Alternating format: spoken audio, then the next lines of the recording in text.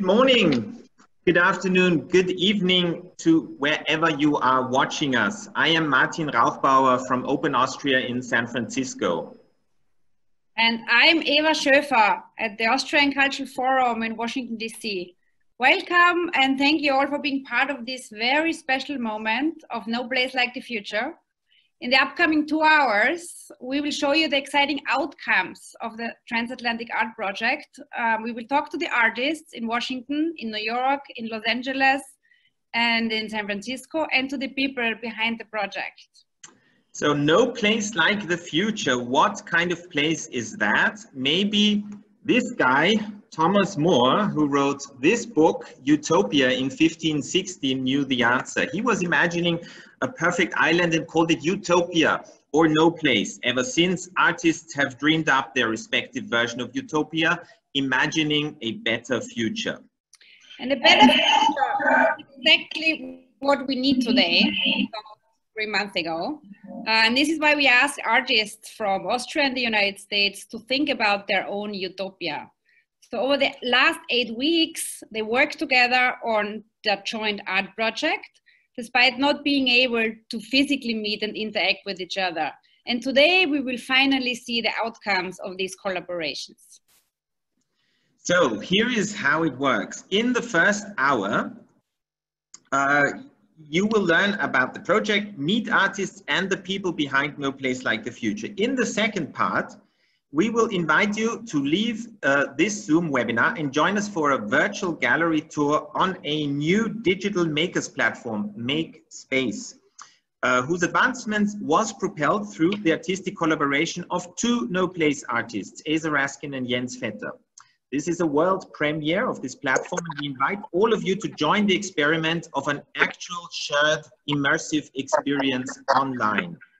As with all software launches, some bugs are unavoidable, so bear with us as we experiment with new formats. If you're interested to stay on for the second part of the vernissage and participate in our virtual adventure, this is what you need to know. Download the software in order to be able to access the platform. Now I'm going to post in the chat uh, box, I am going to post uh, the tutorial uh, which is a web link, web link uh, jensvetter.de and so on. And there you can uh, click on it and download uh, the uh, software. We'd like to point out that MakeSpace works best for Apple, Mac OS systems. The Windows version is only for advanced users. Also, if you plan to join MakeSpace, make sure to wear headphones while on the platform. Okay, so this is the only occasion for all the artists to meet as a group. Uh, and we are really excited about it. Uh, thank you for being here today, all the artists you see here on the screen. Uh, we are all present and we have a very crowded screen, but I think it's definitely worthwhile. And by the way, this picture provides for a great screenshot, so take advantage of it. Of course, you can always switch on the speaker's view format if you want to see the current speaker in a bigger size but please make sure that you always mute your microphone except for the time when it's your turn to speak. So let's now move on. Um, let me move and introduce to you the one person that set all of this in motion and initiated this project a few months ago when we were all in the midst of the corona crisis. Our very own ambassador of Austria to the United States, Martin Weiss, joining us from the embassy in Washington, D.C. Welcome, Martin. Hi, guys. Uh, great to be with all of you. Um, and yes, you, you asked me to say a, a few words about how, how, this all began. And actually, uh, it's uh, like rewinding uh, two or three months when we were in the middle of this, this COVID crisis. And it actually was a bit of a, of a doom and gloom moment because uh, we were basically busy on the one hand with uh, trying to help Austrians leaving the United States. We were organizing repatriation flights to Austria. And on the other hand, we were basically canceling everything that we had planned for, for our summer and for our fall semester. So it was a bit of a moment where you sit and say, all the work that you have been doing is, is going down the drain. Uh, and after this doom and gloom moment, we both sat together and, and we, I said, listen, we have to be able to come up with something that we can do, something meaningful we can do in spite of all this adversity and of this crisis. And we had then this idea and said, well, it has to be something that talks about the future. Uh, because we have to think beyond this. It has to be something that connects the United States and Austria. So what can it possibly do and you know from a, a, moment from a discussion you you take the next step. You talk we talked to our uh, friends and colleagues in san francisco martin and uh, uh, and clara. We talked to our friends in los angeles simone and andreas. We talked to michael in new york and we kind of concocted our our our our, our idea. Um, and then of course we talked to all of you because you can have the, the greatest idea. If you have no takers you won't get very far uh, and thank God you all agreed to work with us on this. And we came up with this website and with the idea of what kind of project this could be. And we have a fantastic group of artists in the United States, in Austria, who, who invested their brain power and their time into this project. And I, am so happy. You know, this is uh, an Aikido moment. You know, in Aikido, you take the strength of your opponent and make it into your own. So in a way, we took the strength of all this crisis and I think made it into something very positive. I myself haven't seen all of the artworks that came in. I have seen uh, a number of them, and they are funny, they are surprising, they're really something and to me, I'm, I'm, I'm so happy today that, you know, something that started uh, really in, in, in kind of a dark moment. And today we are at the fancy opening of an, of an online vernissage. I mean, how good can life be? So listen, thank all of you who participated in this to make this possible. This is fantastic. And thank all of our team in the United States uh, Uh, uh, you know, at the end of the day, you see a finished product and you say, well, of course, this is how it's meant to be. There is a, lot a lot of work that went into this and I'm, I'm happy i'm curious to see the rest of the artworks and i thank you all from the bottom of my heart for being part of this. Thank you all and uh, let's have a, a, a great opening. Thanks. Thank you very much uh, martin and ambassador thank you for your words uh, i see that we still have some artists uh, joining um, hello greg you came from austria we, we, we took you in because you were an attendee and we had to to fix it and, and, and invite you into a panelist so that you are so, so visible. So we will we will probably continue to do that. So if some of you who are supposed to be inside our group here and you are in the attendees, please try to uh, reach us somehow by, by, by WhatsApp or by e email and we will uh, try to get you in because me and Martin being the hosts, we can we can change your position so then you're visible. Mm-hmm. okay, so thank you very much, Ambassador, for for your words. Um, what you were like uh, saying to us, it is really true that this was the decisive moment at that time. How we were in the middle of crisis, and there was a lot of negativity and fear, and how we turned this into this great positive. Um, group meeting and, and art uh, um, and art um, outcome in collaboration, in particular between the United States and Austria, what was so important for us. So of course, um, this only could have could not have happened without um, the support of our colleagues in Vienna, um, who were in the foreign ministry supporting us all the way along with this big project we did, because uh, that is, of course, what, what, what we need. And, and we were supposed to, our original plan was to uh, have uh, the first guest from Vienna, Ambassador Teresa Indjein, who is the Director General for Cultural Affairs at the foreign ministry, at the Austrian foreign ministry.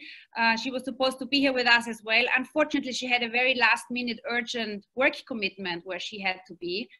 Um, uh, but uh, because she was the one we wanted to have, she, she made sure that we get all the funds for doing that. That's an important part, of course. But she was also always a very uh, big source of inspiration and, and support for us. Um, but she was like very uh, nice and was sending us uh, some personal greeting messages to all of us that uh, because unfortunately she couldn't be here that you will see now um, right in the chat box um, for you to read so when you look on your chat box on the right side of our screen you should uh, read the message that Teresa was uh, sending us I would say we now uh, move on to see what the actual outcome of No Place Like the Future is. After many weeks of transatlantic collaboration between a very diverse group of artists in Austria and the United States, now is the moment of our virtual vernissage. And the way we'll do it is to move from hub to hub, from Washington, DC, first to, and then to San Francisco, then to New York, and then to Los Angeles. And now starting with the nation's capital, I hand back to you, Eva. Okay, thank you very much. Uh, let me just check um, who we are still missing. Um, Nicholas is still not here, right? Do I I'm see here. I'm here. No, Oh, he you're joined here. us. He joined Yes, us. you, Hey. you joined us. Great. So everyone is here. I can we can start our little conversation with all the with with all the DC artists. Um, so as you can see, um, we were like. Um, I'm talking now in my second role because I'm also the director of the Austrian Cultural Forum here in Washington. Um, and so I'm going to introduce to you now some of the artists with whom we have worked here in Washington, D.C. And I can tell you we were a lot. Um, in total, we had eight pairs, sometimes even trios. We had in total 19 artists, um, and nine of them are here today. Uh, you can imagine we, there was a lot of work trying to organize it all together, but we were very, very proud that we had such a great variety of artists. Um, one thing also why we had so many artists is due to the active engagement of our ambassador, who himself got fully engaged. He was connecting artists, he was bringing them, and he was doing video talks with them. So thank you again, ambassador, for, for doing that. So as we have so many artists and artworks, of course, it will not be possible to show now in the short amount of time we have to present all of them in, in detail to you. But um, we have created a little video clip um, with snippets of their works of our DC artists so that you, our audience, also can get a little idea of the great variety of works what they what they did and afterwards we're gonna start um, having a couple of conversations with them so let's start with the video now martin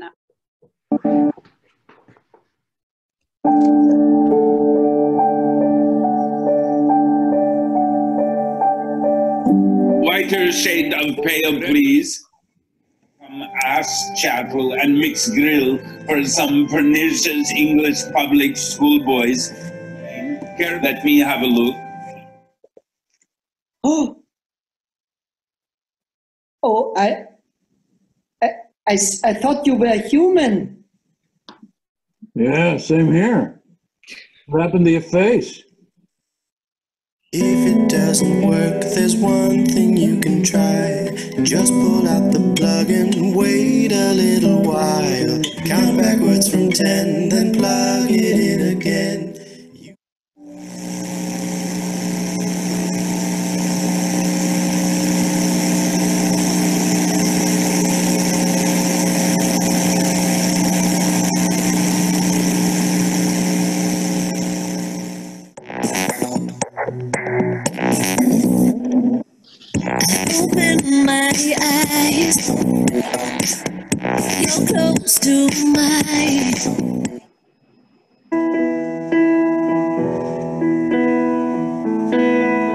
Always seems to be in conflict with some sort of ruling class that doesn't like the idea that humans understand it, that every one of them have the full power,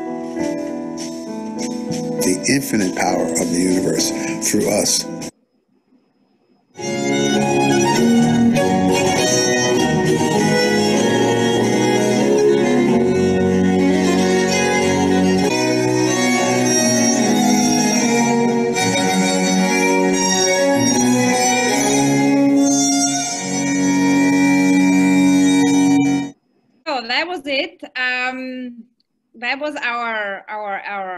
Our our little video snippet um, i think it showed a great uh, variety you guys were all really amazing um, it was I'm totally unbiased, but really well done.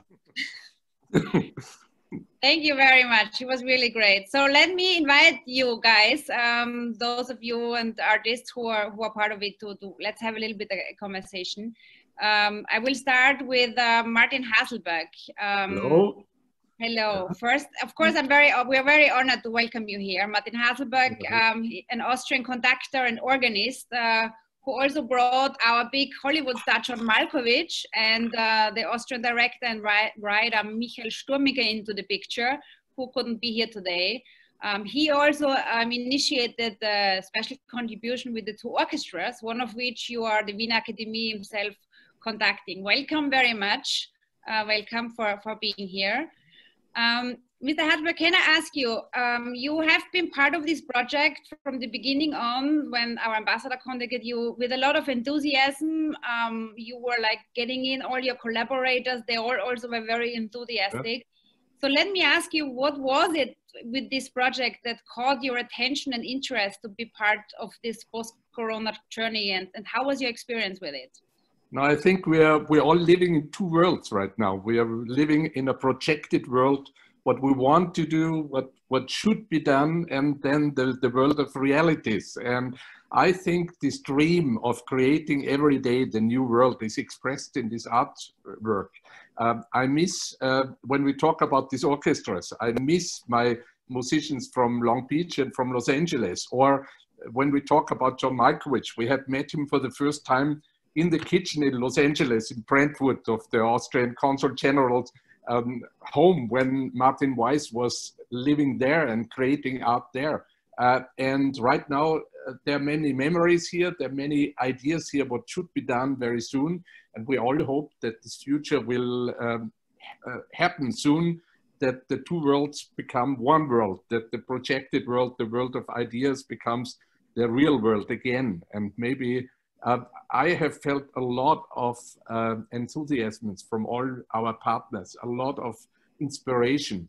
But uh, we all hope that uh, finally we can express this not just through media and through the distance and through Zoom, but in reality as well. And this is for me, this, I was uh, really um, grateful for, for being part of this. And I, I could share a lot of emotions and a lot of ideas with many of my colleagues, which I couldn't have done without this project. So it was really something great, which happened here. Yeah.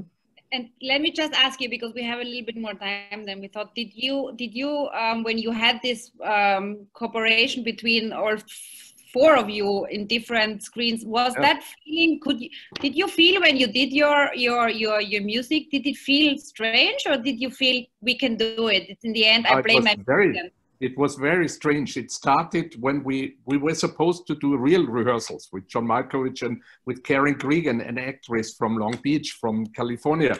And then we couldn't do it. And then suddenly we found this zoom idea and then I called the Musikverein, the Golden Hall, which is usually crowded with thousands of people every night, and said, can enter this hall? Is it possible? And they said, okay, if you're alone, if you don't do anything, then I, I came to this empty hall and we, we had a team here to, to record us. It was super emotional.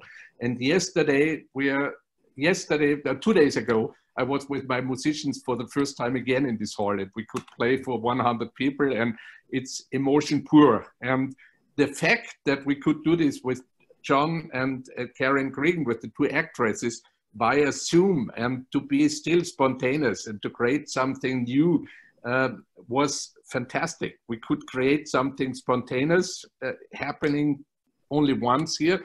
On the other side, we knew that when we are together and we can do it live, it will be different again. So it was kind of an expression of the moment.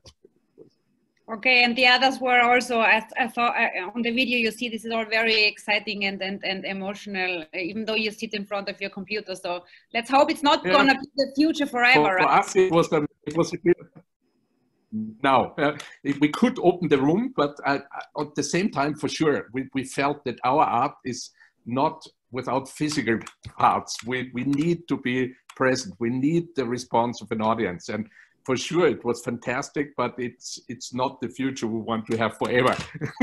I Let's think hope that.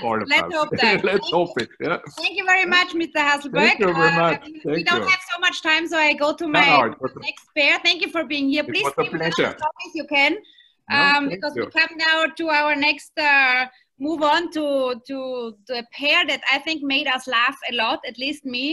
I, I still laugh every single time when I see the video. Uh, even, I mean, it, it is just great. Um, Nicolas Habjan and Bill Barretta. Uh, you guys uh, created hilarious conversations um, with your two puppets, Bertie Blockwart.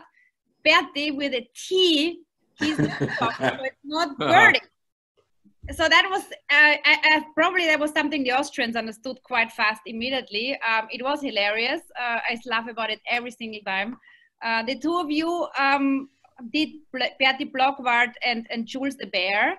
Um, Bertie Blockwart is a, is a figure for Corona that has been crea uh, created and, and is spying on people not behaving well.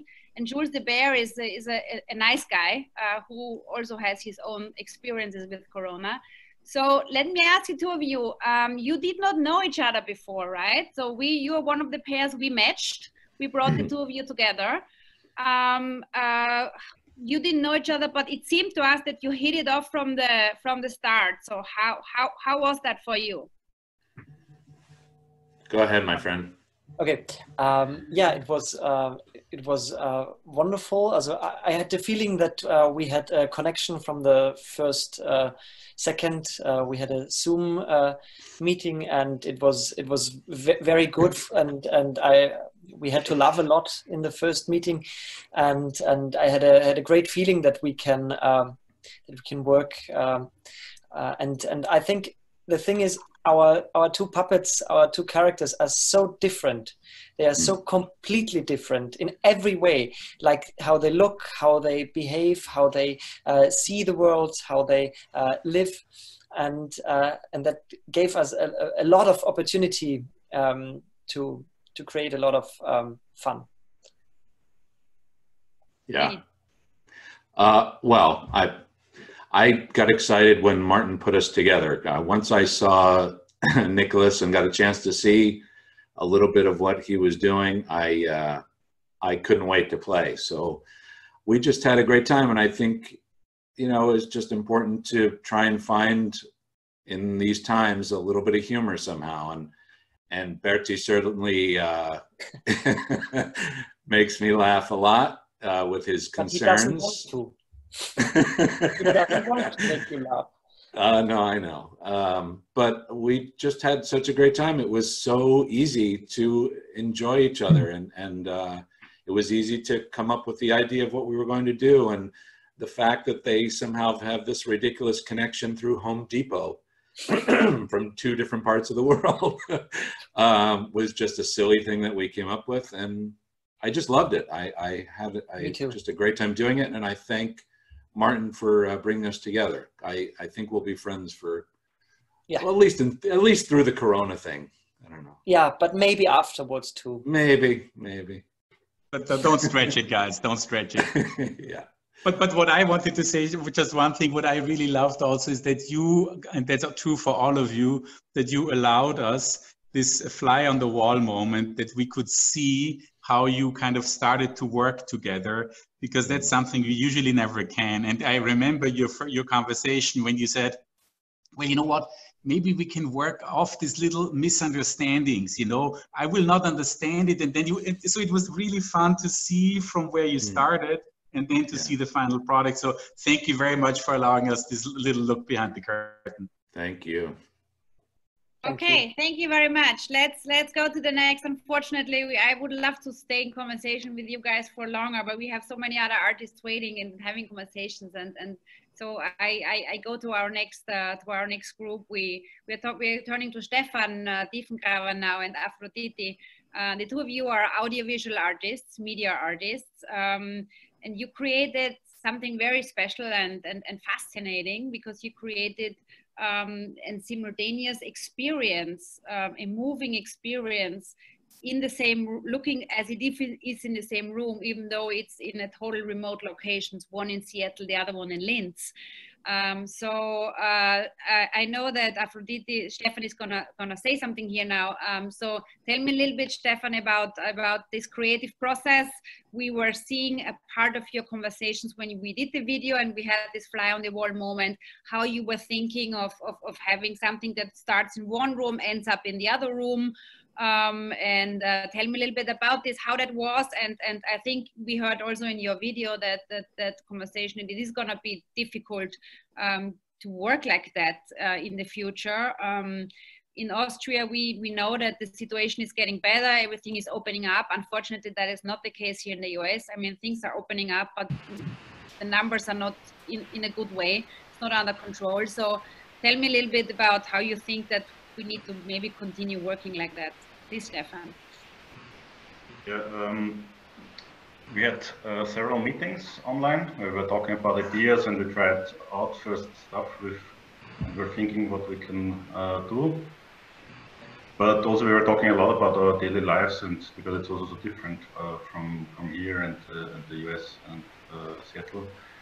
So we both usually work with physical objects to create our artworks uh, with a strong relation to an haptic and a tangible experience. Uh, so we soon decided to build uh, devices to control antennas and to, to connect our two remote places with uh, like in Seattle and in Linz by letting them interact with each other.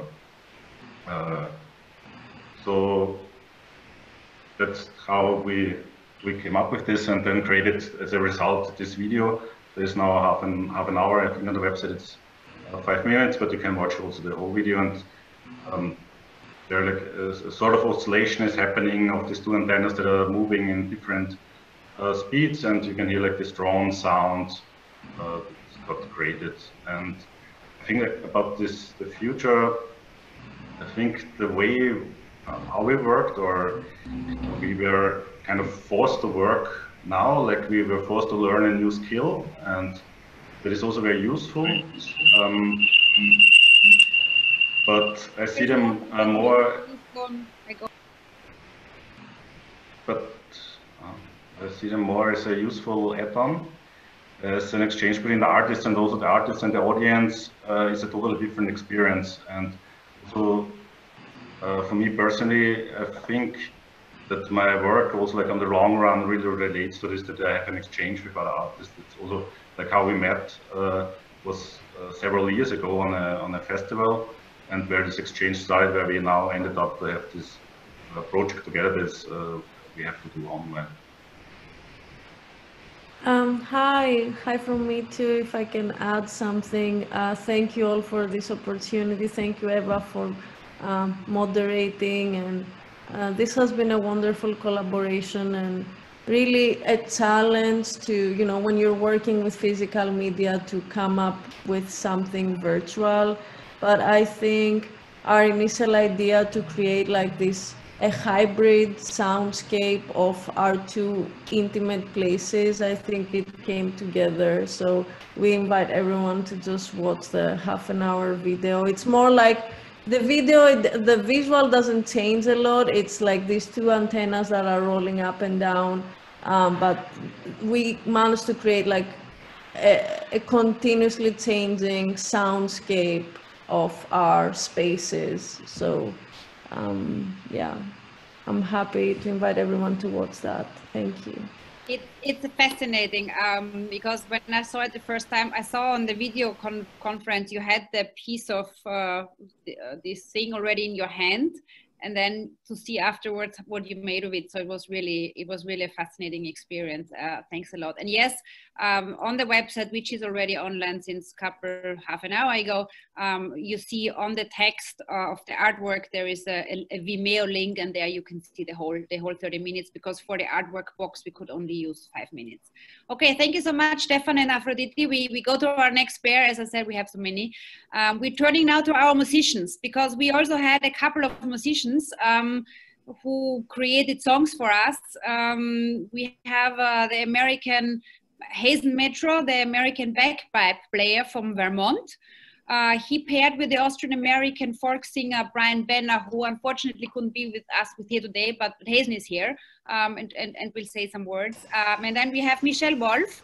I saw her, she changed, she joined later. Here she is. Hello, hello, Michelle. Um, and, and singer from LA who produced the song with Greg Usek uh, from Austria. He's also here. Um, so I would like to ask, as the three of you, you, you are our musicians who are here today. I would like to ask you all one question um, because I think making music remotely and virtually, I can imagine, must be particularly bad when you are normally have to work together when you sing. Uh, in particular for Hazen and and, and uh, for Hazen and, and Bryan because you, they were supposed to sing together and that's what they did in the end in the song. Um, with Michelle and, and and Greg, I think it was a little bit easier because one was the producer, the other one was the singer. But but tell us a little bit how you experienced this this virtual collaboration when making music and and uh, and maybe you can tell me about one of your most memorable or rewarding rewarding moment during that process. Maybe we start with Hazen and then and then Michelle and Greg. Sure.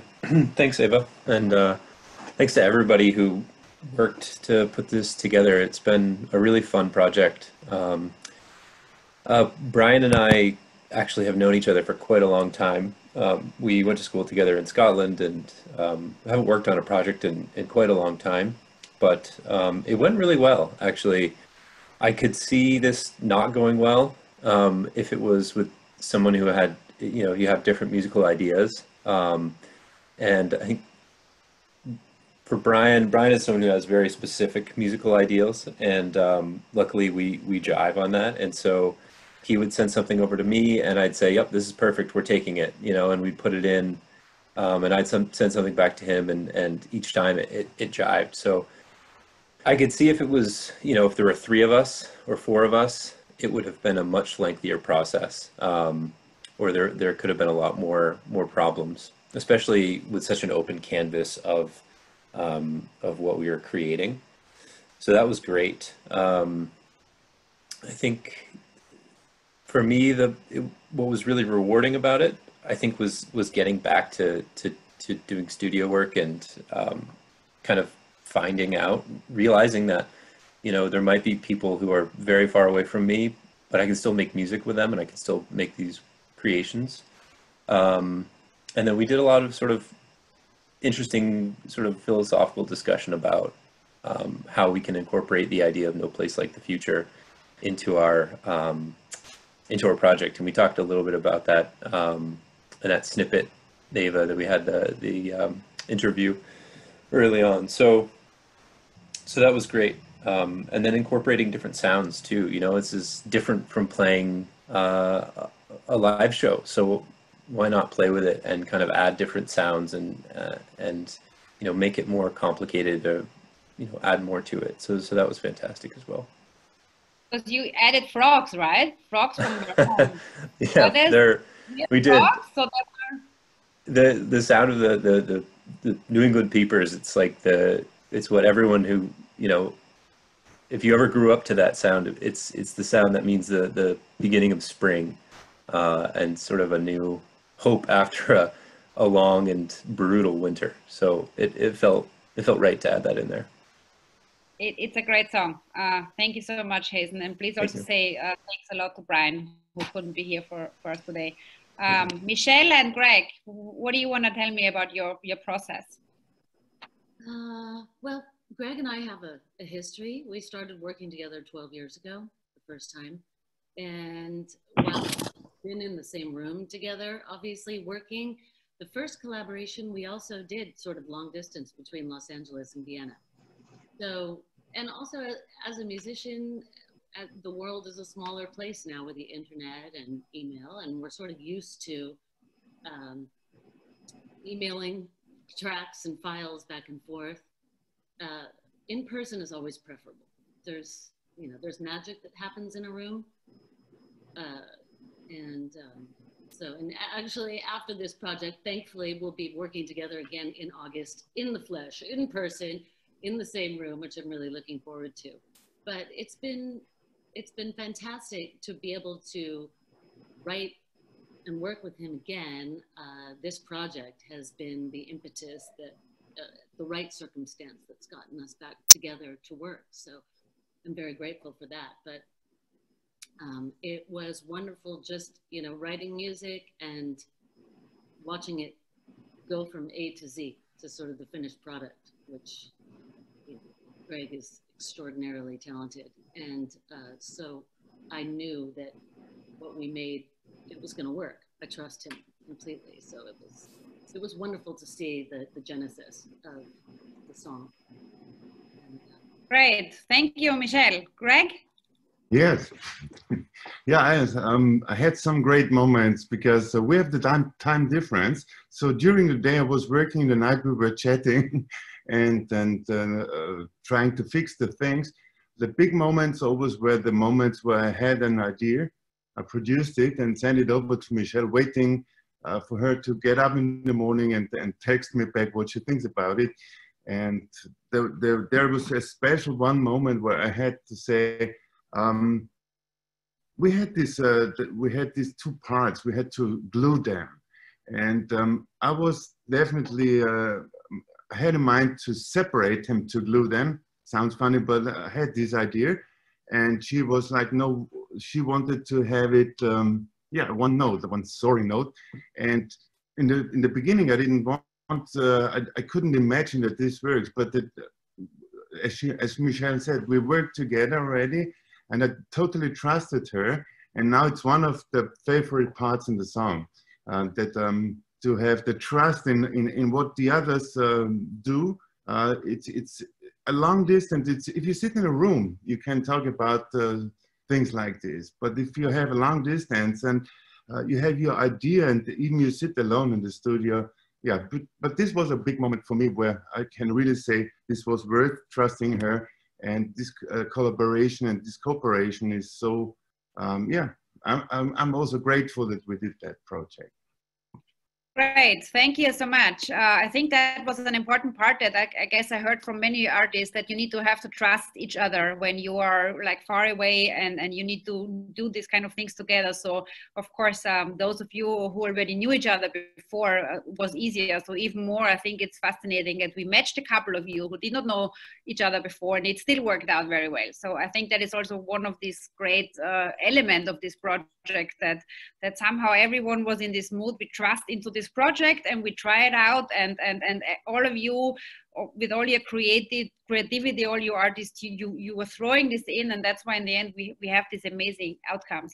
So i already come to my last uh, to my last uh, two artists uh, that at least for me uh, made me think most. Um, i had the honor to have the conversation with them um, for the video. Erwin wagenhofer the austrian filmmaker and kenny werner the us jazz pianist composer and teacher.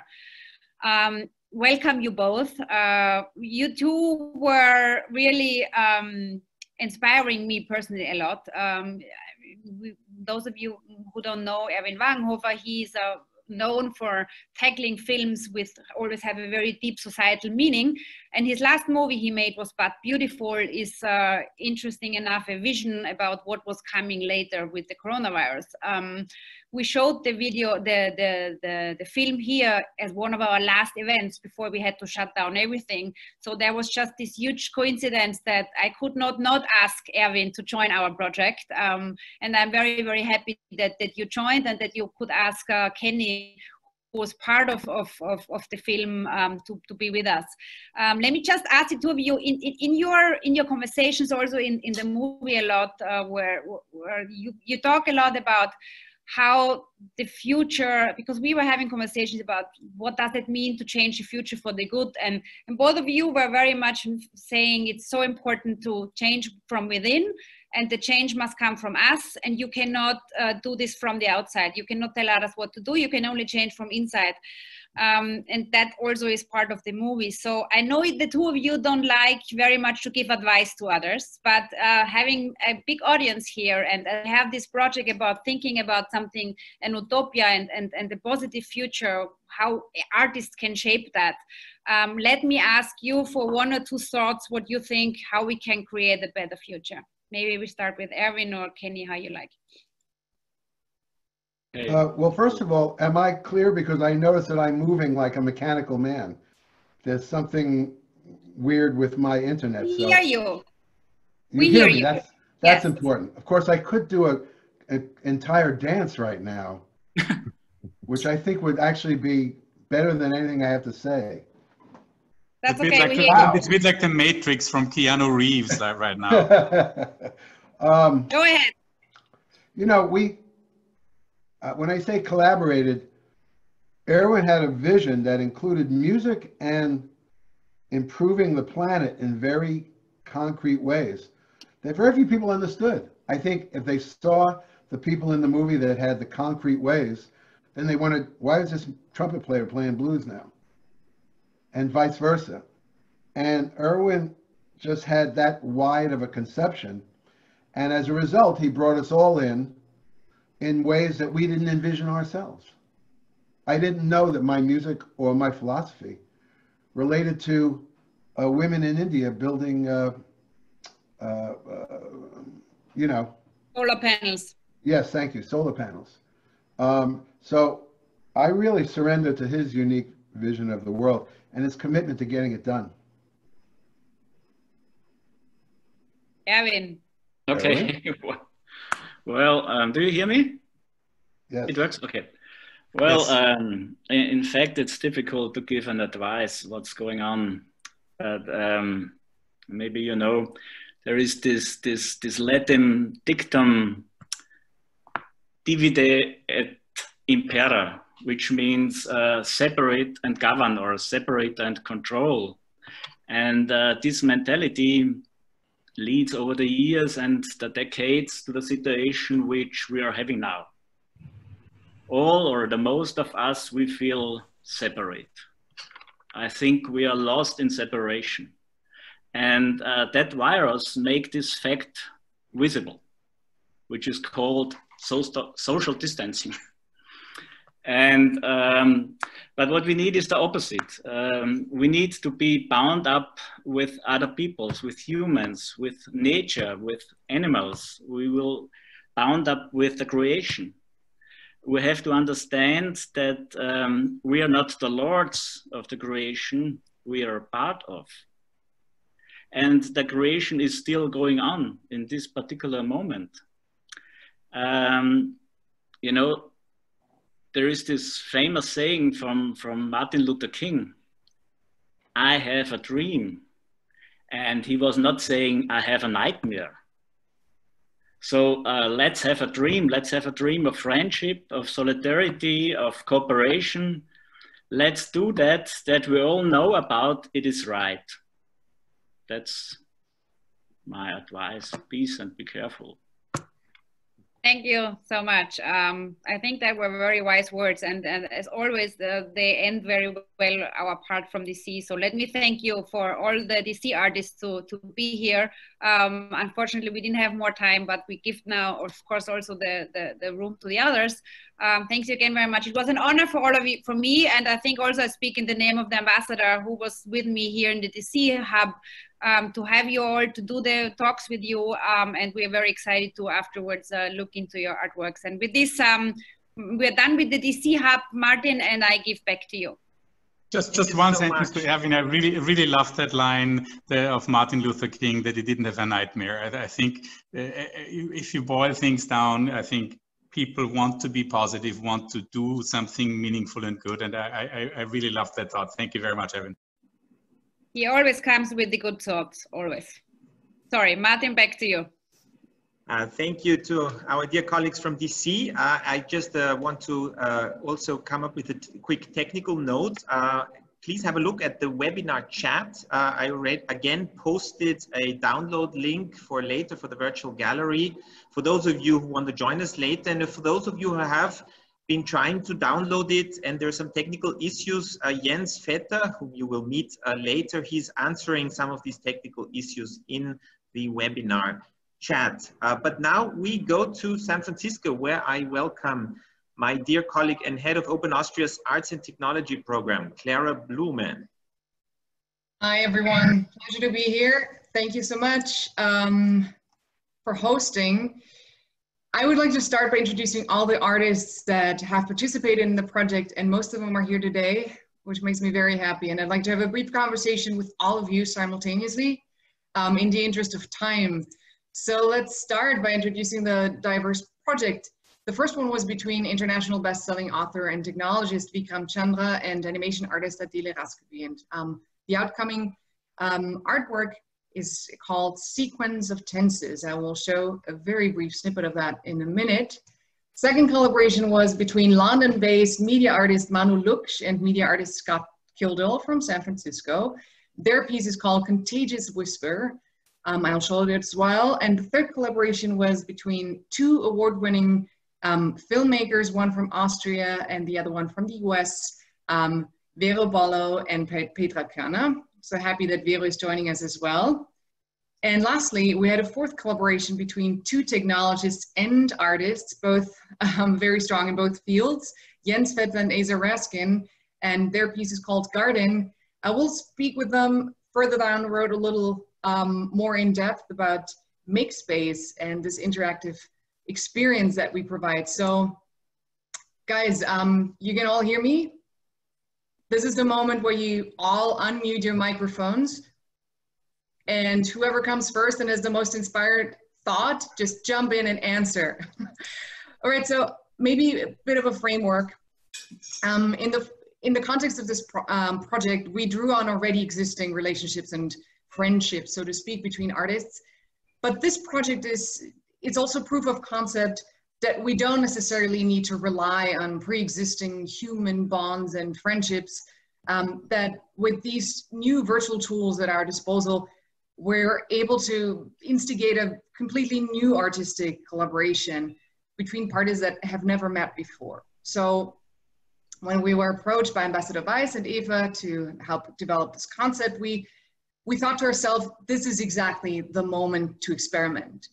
This is the moment to be bold and um, and this should be an exercise in adaptability. So um, we thought no one's more adaptable and versatile than artists. So here comes the question now. Apart from the obvious challenges um, in an artistic collaboration that's been deprived of any physical interaction, what surprised you in a positive way about this virtual artistic journey? that this particular setting open up new um, opportunities for you to discover? Who wants to go first? Uh, so I had the advantage uh, that uh, I knew my collaborator, Scott uh, Kildall, already because uh, I had spent a month during an arts residency in San Francisco. The first Later, Open Austria art residency in San Francisco. Yay! Yes, thank you, Austria. uh, however, we didn't really have time or chance to to collaborate during that month. And um, so your invitation to participate in this project was a very welcome opportunity. Um, I mean, my background is really net art. So uh, working collaboratively online um, was actually a language that um, I, yeah, I feel I speak quite well. I feel like the fish in the water. However, we're living in special times. And so well, what happened was we found ourselves in very opposite situations. So Scott um, um, had uh, decided to leave to the desert. So he's also currently um, traveling in the desert. I think this yeah. is why he's uh, not joining us right now. In Joshua Tree. Yeah, he must be in some um, connectivity hole. um, while um, I'm here in lockdown with um, an artist community. Some of them came here to join. so, nice. so I decided to recruit amongst this uh, creative pool here and um, the son of one of my families um, was uh, casted as main actor and I, I shot the the parts of uh, the film in the studio of another neighbor and so yeah so i really recruited from um, the handful of families and artists who we are, who, who I spent this lockdown together with, um, while um, yeah, while Scott's contribution was really um, kind of fed by the the visual and other manifestation of the desert. So um, mm-hmm. and bringing then this together in a narrative was what we kind of worked out during our online conversations.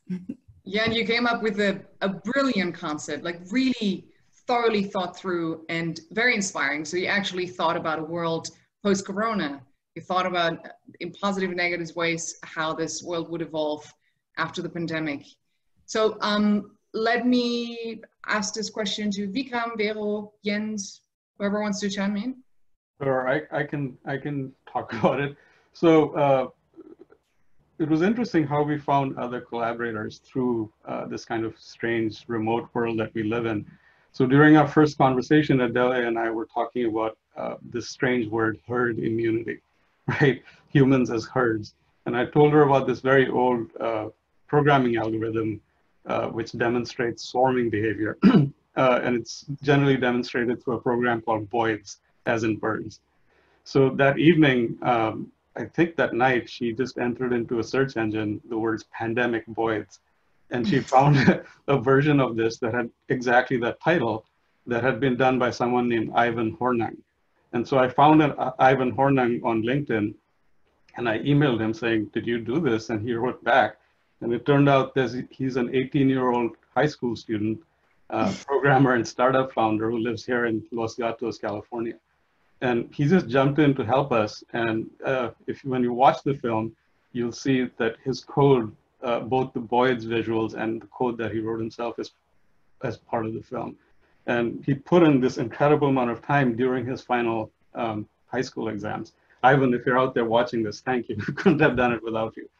Uh, so we just found these collaborators, some in India uh, that I knew to work with, but happy sort of coming together uh, to make what I think is an incredible piece of art by Adele. Um, and so apart from the um, from the obvious hurdles, did it open like truly new ways to um, of artistic manifestation and, and and a new set of tools for you, for example, for uh, for you, Adele? Yes, you can. Can you hear me? Yes. Yes. Okay. So for me, uh, when we met the first time, this was my first Zoom conversation I ever made. so um, yes, this was really new for me to uh, work in this way. But I really enjoyed. It was like sitting on on a table and and and uh, having an exchange. I'm always used to kind of cook my own soup, and it was really good to have somebody else putting his ingredients. And and we really um, really quickly found the the touching points of Vikram's uh, uni artistic universe and mine with the herd behavior and and the Sanskrit um, um, yeah mm -hmm everything just fit uh, in together. And so this is the soup that came out yeah i mean this really points towards a completely new mode of operation for cultural relations for, so for us this is a pioneering project that really um, points the way towards the future because the pandemic is going to stick around for the next two years so it massively influences our job profile and yours as well so um, um, is this something that you will just simply have to wrap your head around and just get used to? Or are you already, um, you know, longing to get out of there? I know Austrian is a very different moment than the US and physically collaborate with your colleagues. Yeah, I oh. mean, sorry. Go ahead. No, I think um, this was really eye-opening for me to keep on working like this with people from all over the world, which would not be would not be possible if you have to go there. But but uh, also, of course, um, our uh, yes, it's um, something else. Um, mm -hmm. Yeah. All right. I mean, both. Yeah. yeah. I mean. Uh, I think in the tech industry, and I'm also involved in uh, television and film projects, um, a lot of this work takes place remotely anyway, but uh, I'm dying to get back on a set with camera people and actors, right? I mean, that the magic really happens. Um, and even as a writer, I mean, I can sit in this office for only so many hours a day before I start to go a little crazy. It'd be time to get out soon. I can, I think that resonates with me a lot. Um, and Adele, I remember that you said um, during one of our conversations the, the real reason why um, why actually why this this virtual interaction actually works or the virtual concerts is not because they're a substitute of reality, but rather that we still recall we have an emotional arsenal of feelings that we can draw on um, while we consume a virtual happening. So once this um, this reality um, kind of fades away to the background, and and this feeling um, we're deprived of this arsenal of feeling and emotions. We will um, indeed go crazy because we need human interaction. Yes. of So course. I thought that was very poetic, and I'd like to include Vero and Jens's conversation at this point. Um, I'm sure you're high, highly philosophical people and you have tons of uh, things to add to this. I'm just going to hand over the microphone. Hello. Um, I, I wanted to actually just say really quickly how lovely it was, uh, Erwin, to hear the um, reference to Martin Luther King, especially right now.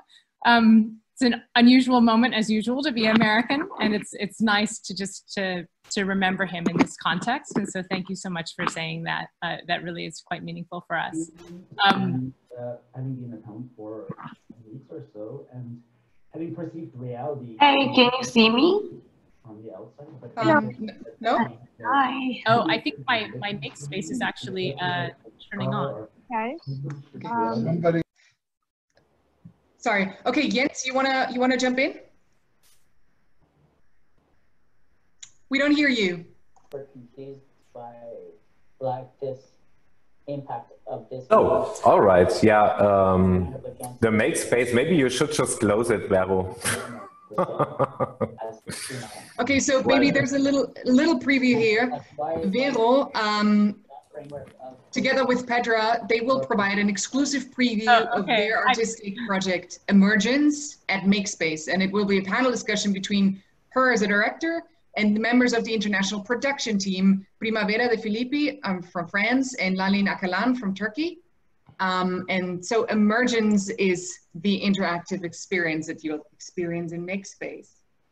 Yeah, and sorry can about I that. just- There's actually can I just a say little bit of audio from our conversation that's going on simultaneously in Makespace, and it'll be fun to meet you all over there. Um, you know, sort of one of the things that Petra and I discovered, and Petra and I had a really wonderful experience making a film together that went to Sundance and just changed our lives very, very deeply. Um, and to have the opportunity to be able to collaborate with her again in this really weird context has been so cool. And um, I think the most exciting sort of revelatory thing that we've discovered is that you know we're all really dependent on our cameras right now to communicate with each other, and this dependence on our cameras um, is so much about showing people what we would like them to see of us, and that's so different than what art is really about. You know, I think especially cinema and storytelling is about this kind of incredible art of the reveal. You know, it's like you constantly have some things that you're going to tell people a little bit later, or maybe never at all, or maybe you'd like to have them speculate um, about. And yet here we all are sort of dependent on these Zoom cameras so that we can uh, connect with each other in this way that is a little bit more like show and tell. Um, so we've been playing with that, and I think it's really interesting that now um, you guys are going to have the opportunity to meet two of the uh, really fantastic local producers because we've involved five different countries in the project, actually, uh, including France and Turkey. Um, and these are both just incredibly astute women who have lots to say about that. And we're doing it in a platform that is also sort of addressing this question of what does it mean to be dependent on these technology tools that are built uh, perhaps not to bring all the richness of human experience to the digital world of communication at the moment. Um, and so I think this is going to be kind of an interesting transition and really uh, it's, I think it's pretty cool to think that like this whole, um, you know, across the ocean collaboration project has, has made this possible. Um, so I, I'm excited to see what, what's going to come out of it. Thank you. Um, I have so many things to add, but I will leave that um, for Jens to answer, or maybe give a brief uh, give a brief statement. Um, yeah, well, there are so many um, things that come in my mind now listening to you, Vero. um, like maybe I, I, I try to uh, make this circle with the project uh, within no place like the future. Um, when we started like this collaboration between the American Aza and the Austrian German me, uh, the first thing that came in my mind was well, okay, everyone anyway is in the virtual community, and the COVID 19 kind of forces us even deeper to go deeper inside this virtual, whatever it is, environment.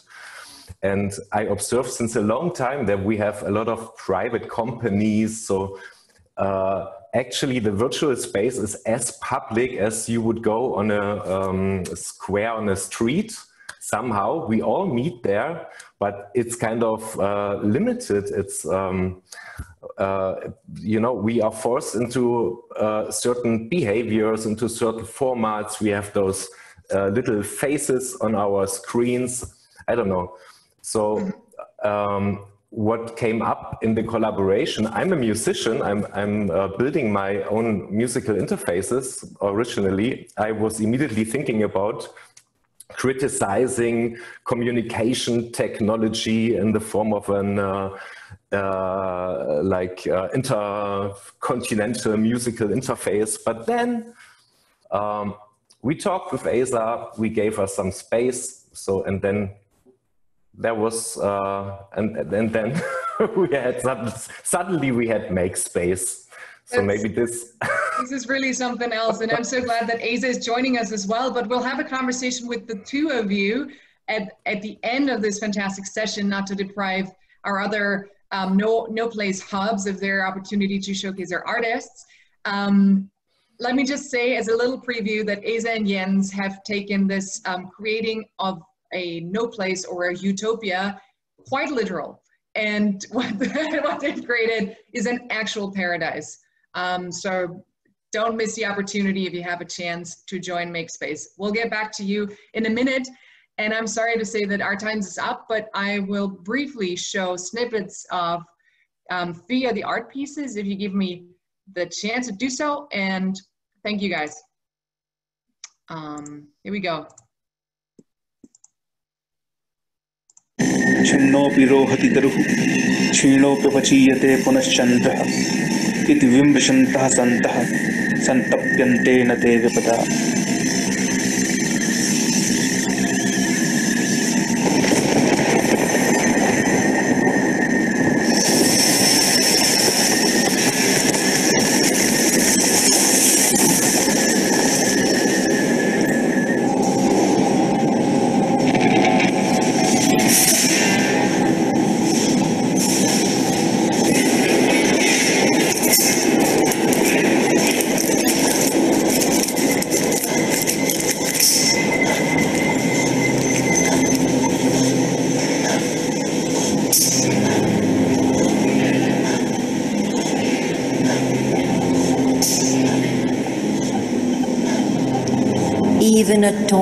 tree grows again into green. The thinning moon swells again. The wise, knowing this, face calamity calmly.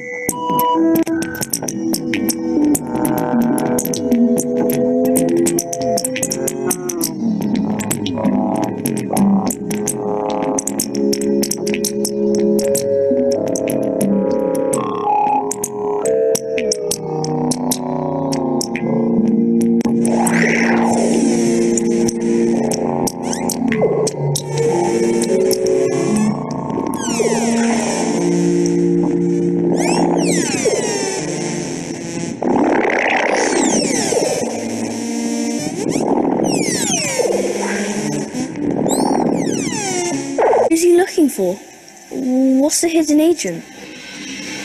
A hidden agent? That's an expert for cryptography. If uh, the Memo virus code could be modified to release secret information only to human hosts with a specific DNA, then we would have a perfectly secure and fast communication network. We just need to find an agent. Why don't you find one then? What's stopping you? They are not easy to find. There's just a few of them. Durango is looking for one. It's a dangerous quest. Dear Cynthia, we are always on the move. The corpse are constantly in pursuit. I have been infecting all of our fellow slow speeders with your virus. It's like a portal to another dimension. Everyone embraces the new communication. Electronics meant speed, reliability, and ultimately control in the hands of the few. What amazes me is the viral communication network cannot be centralized. Today I saw several signs of the hidden agent.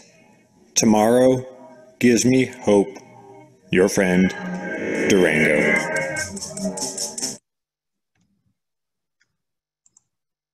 All right, and with that, I give back to you, Martin and Eva. Thank you. Thank you very much, Clara, and all the great artists from San Francisco. With this, I immediately give to our next hub. Um, now it's New York, um, giving the East Coast to our colleagues from the Austrian Cultural Forum. Representing the Austrian Cultural Forum today is Deputy Director Christian Ebner. Christian, you have the words and floor and microphone. Thank you. I hope all of them work. Uh, hello, good afternoon, everyone from New York City. Uh, from the Austrian Culture Forum New York, we're also very excited that we've been part of this project. Uh, the mastermind on our end, Michael Heide, unfortunately, is not able to join us, so I have the honor of filling in uh, for him. Uh, we had uh, three teams, six amazing artists. Two of them are able to join us this afternoon. I'd still like to recognize and thank all of the other four, the ones that are not here uh, Rochelle Feinstein, Ulrike Müller, and Anna-Sophie Berger, as well as uh, Dena Yago. And I hope you all get a chance to uh, see their artwork in the second part uh, of, of this vernissage. Uh, uh, there's a lot of technology, creativity, amazing artwork we've seen so far. I'd like to, let's say, slow down a little bit and, and, and take it back to the basics. And I think the artwork and the process process I've seen uh, between Francis Ruyter and, and Walter Seidl, our two artists present, uh, are very uh, fitting point of departure because they started uh, with a very basic discussion. What does the concept of confinement, of isolation mean to us? How has it changed our perspectives, our possibilities, our, our views? So I would like to kick off uh, the conversation between Walter and Francis uh, with this question, uh, how has it changed? And, and in particular, since you play with the notion of emptiness, of void, how has it affected the relationship between uh, space on one hand and, and people on the other hand? Uh, I don't know who Walter or Francis wants to start. I mean, we, we That's a Walter question. Okay, That's yeah, a sure. question. Um, no, because like yeah, we were like in isolation, and then thought, okay, um, how do you deal with images? How do you deal with something that you cannot see actually or not really because like we're all inside and not really able to um you know proceed go outside. And and me working a lot with photography uh and uh francis also with like historical moments. And we're discussing of course forms of crisis and that this is not the only one. And i mean we had the one in 2008 and, and several other forms of crisis. And um, what you usually do or you know sometimes when you cannot get out it's like you look at what you have. And this made us came up with the notion of the archive. And me my personal photographic archive actually that were analog photos from before 2008 so before the last crisis. And then just see how this resonates like nowadays. Because i mean it was even the um, the weekend before the shutdown in Vienna, you went out on the streets and everything was already closed. You know, the streets were empty, and you know this was like before that. And this is kind of like that made me at least feel to go back to my own photo archive of such feelings when you were in certain places that are empty and, and kind of like what what these places. I mean, what kind of feelings this is conjuring up in a, in a way. So um, yeah, Francis, what, what do you want to say to that? Yeah, um, you know, I had switched to working with this archive uh, from the Library of Congress in Washington, D.C., which is where I was born, um, in 2008, kind of as a response to the, the financial, the debt, the mortgage crisis, um, debt crisis in 2008, uh, because I thought it, the issues that led to that archive being developed were so similar to what was happening in 2008 And as I live in Vienna, I was looking at what was happening in America as an immediate um, uh, result versus what was happening in Austria to like an average person like me. Um, and it was just so hugely different. I really wanted to do something about this. And I've been working with that archive for eight, like since 2009, really. And more and more I get questions of like, what, what is this American stuff supposed to, like, why am I supposed to be interested in this American stuff? Which was always a kind of funny question. Um, and when, when Walter and I started talking, uh, we, you know, the first thing we did was really look for, we, we know each other somewhat, but not on, you know, kind of working together is much more intimate situation. And we're, you know, first thing we're doing is kind of looking for commonalities. Um, and it just seems so clear to work with this together. And for me, I had this moment of like, uh, oh no, is everything I've done for the last, you know, decade completely irrelevant? Um, because of course, like the circumstances can change the way people look at pictures. And all of my work is about how, it, my, my work is pictures of pictures. So um, when we were, when, when I was invited to do this project, it was like really helpful actually to have somebody to talk through some of these things with. Um, there was a, yeah. a third uh, artist involved, uh, Stefan Geisler, who did the soundtrack. Yeah. Actually, I, I have the feeling there was a fourth creature involved, which is a cat I see weaseling around Francis yeah. all the time. She wants, uh, she really wants me to play fetch with her right now. What I found striking that uh, you use the three media of, of image, of sound, and of text, and that the two of you who come more from a visual arts uh, background the actual storyline that, that tells the story of those uh, migrant workers in the agricultural field who have been heavily affected by, uh, by the pandemic. Uh, the, the storyline is told via text, via language, and not via one of your typical media. Do you want to comment on that and also the relationship between uh, the language, the photography, the imagery, and also the soundtrack? I can start with the text question. Um, um, the, these texts are captions from, like, appropriated from the photos in this archive. Um, I'm interested in the stories that kind of get carried along or get erased or get re, re um, regenerated and I've always been interested in text in the work, but it's always kind of been behind the scenes. So it was a nice opportunity because I thought, you know, somehow destruction of all of our ideas of what the future was going to be had just happened. It was a kind of like, you know, we're, you know, there's nothing physically threatening me at this very moment, but the whole world has somehow changed. So like this kind of quick ideas of what you think the next year is going to be is just completely um, altered. And I thought to like remove the pictures from that and really go like strip it to this um, mini stories that are carried in this art, you know, this archive of photos.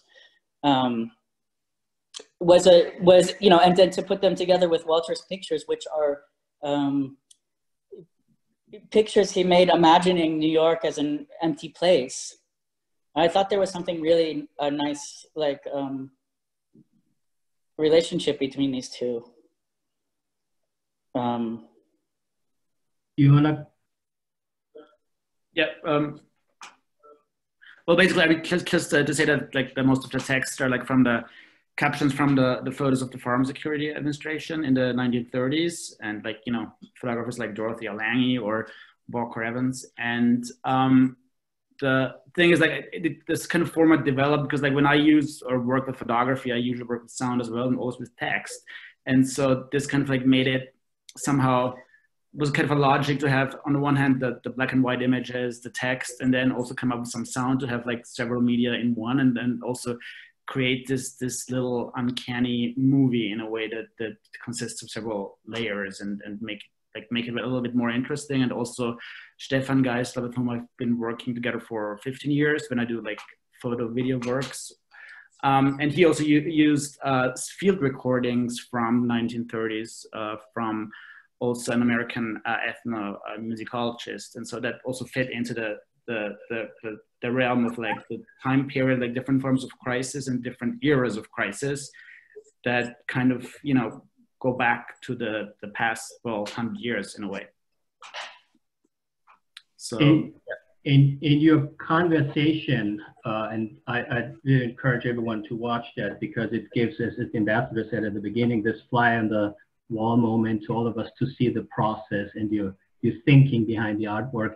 The two of you seem to agree that uh, the, the lockdown of the pandemic gave us, all of us an opportunity to sit down, to pause, to reflect, to think rather than doing something. And you're sort of against this forced entertainment that's that's been uh, pressed on artists to produce something, which is actually what, what we've been doing with you guys, and you've agreed to, to do that.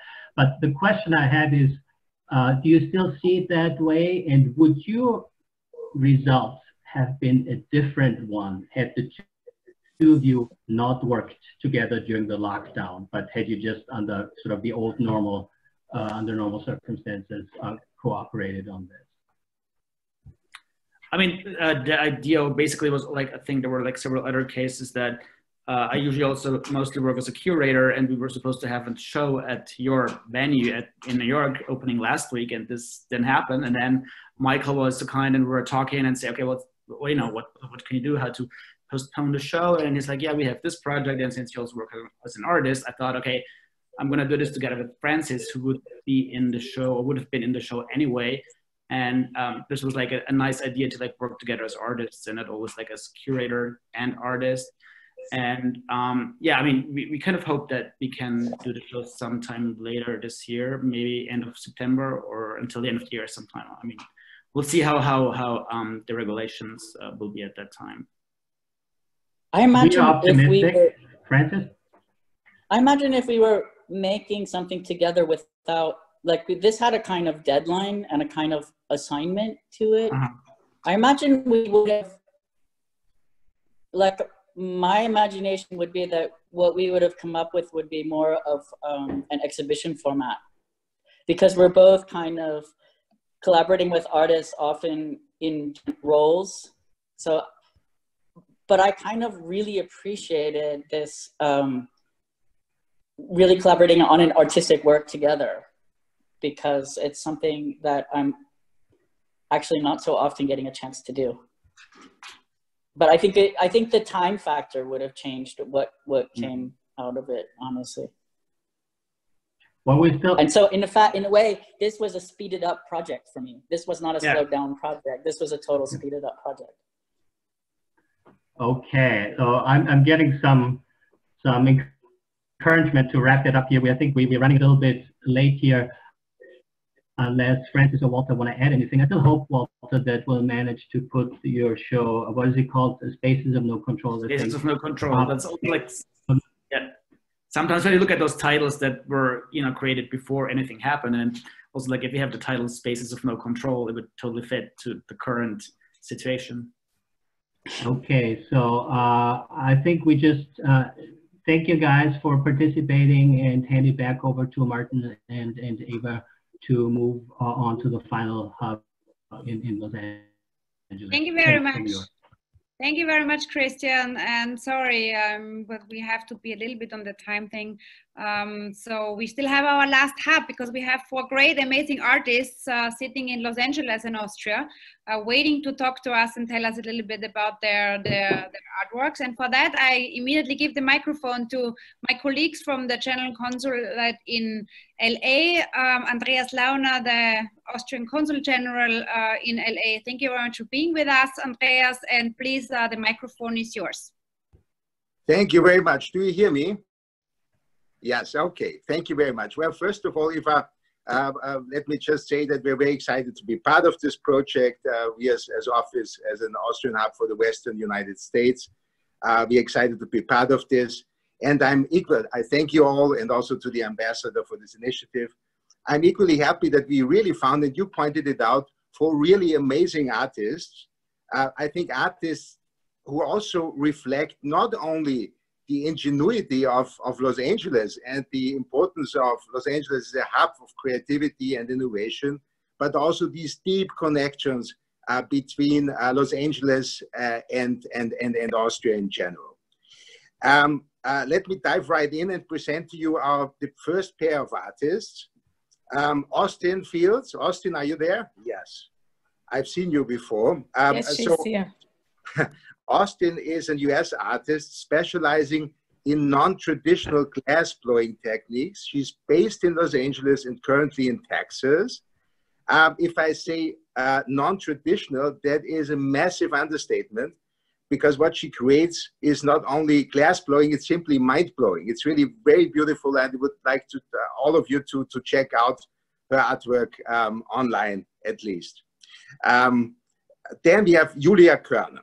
She is an award-winning designer specializing in cutting edge 3D printing. She is also based in Los Angeles and also uh, she comes from Salzburg. Uh, she's a close friend of ours, a longtime partner and advisor to our office. Um, uh, she's very modest, but I would like to point out here that it's thanks to the cooperation between Julia and costume designer Ruth Carter. The movie Black Panther won an Oscar for costume design in 2018. So uh, Julia is really outstanding, um, and we all here, the Austrian community on the West Coast, is very proud of her. So um, this is an amazing couple. Uh, Julia Austin, um, I really, I not only love your, your artwork and, and, and, and your corporation, the product of your corporation, I also uh, loved very much the title of it, right? You called it uh, Virtual Blossom, right? And I, I don't think that's not only very befitting for, for your corporation, but I, I think it's also beautiful. Well, it's, it's a befitting metaphor for the situation many artists have been during the corona crisis and continue to be during this crisis, which is not over yet here in the United States. Uh, so you have to bloom virtually or not at all. And uh, so I would like uh, both of you, Julia and Austin, uh, to tell us about your artistic operation. The floor is yours. Thank you for the great introduction and thank you to everyone who brought this project uh, to realization. We, Austin and I are really excited to be part of this. Um, I'm going to share my screen. So um, throughout the project, uh, Virtual Bloom, uh, we kind of experimented uh, with several different material techniques. And through a variety of material investigations, we created a synthesis between two very distinctive technologies. I'm, personalized, uh, I'm personally uh, specialized in the cutting edge computational design and 3D printing, and uh, Austin is specialized in non-traditional glass blowing techniques. And so the convergence of these processes eventually led us uh, to a collaboration throughout this unprecedented time to create 18 designs, which, uh, in which we investigated uh, duality. And uh, we are interested in texture and pattern, reflection and light, and fluidity. And this project, Virtual Bloom, speaks directly to the unique circumstances and the challenges which we as artists are facing right now. And it is an ambition to inspire and to connect through these very new times. And uh, in this kind of virtual process, we explored a variety of different processes, which Austin will speak towards. Yes. Uh, so this entire process was kind of a dream, um, despite the circumstances, of course. But Julia and my work are very similar in in a different regard. Um, our work are already looks very futuristic. So I was immediately intrigued to, um, you know, just explore and and expand upon what we could create together and it was really a great process because in the beginning i think we were both we, we didn't know what we wanted. And the exciting part was the experimentation and the process. And we're both very process based artists. Um, we spent a lot of time on material investigation. And Julia would 3d print a mold that she would design.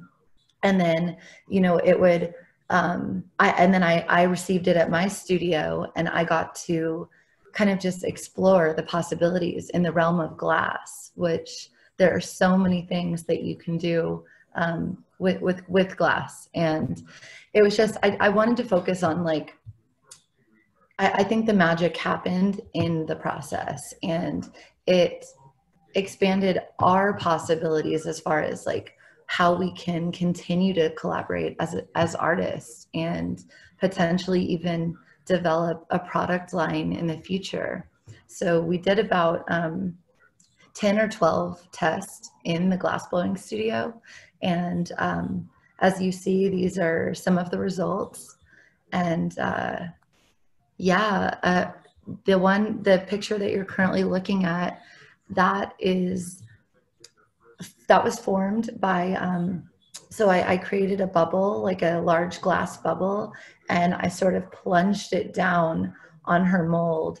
Um, I heated the face like more than I usually would. And it just picked up this incredible detail. And, you know, the glass piece itself, it it is this object, but when you incorporate the relationship of light, it creates this magical environment. And that's what I really wanted to focus on.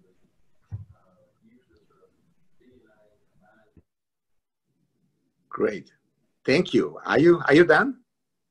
Yeah, if you have any more questions for us. Thank you very much to both of you for this presentation.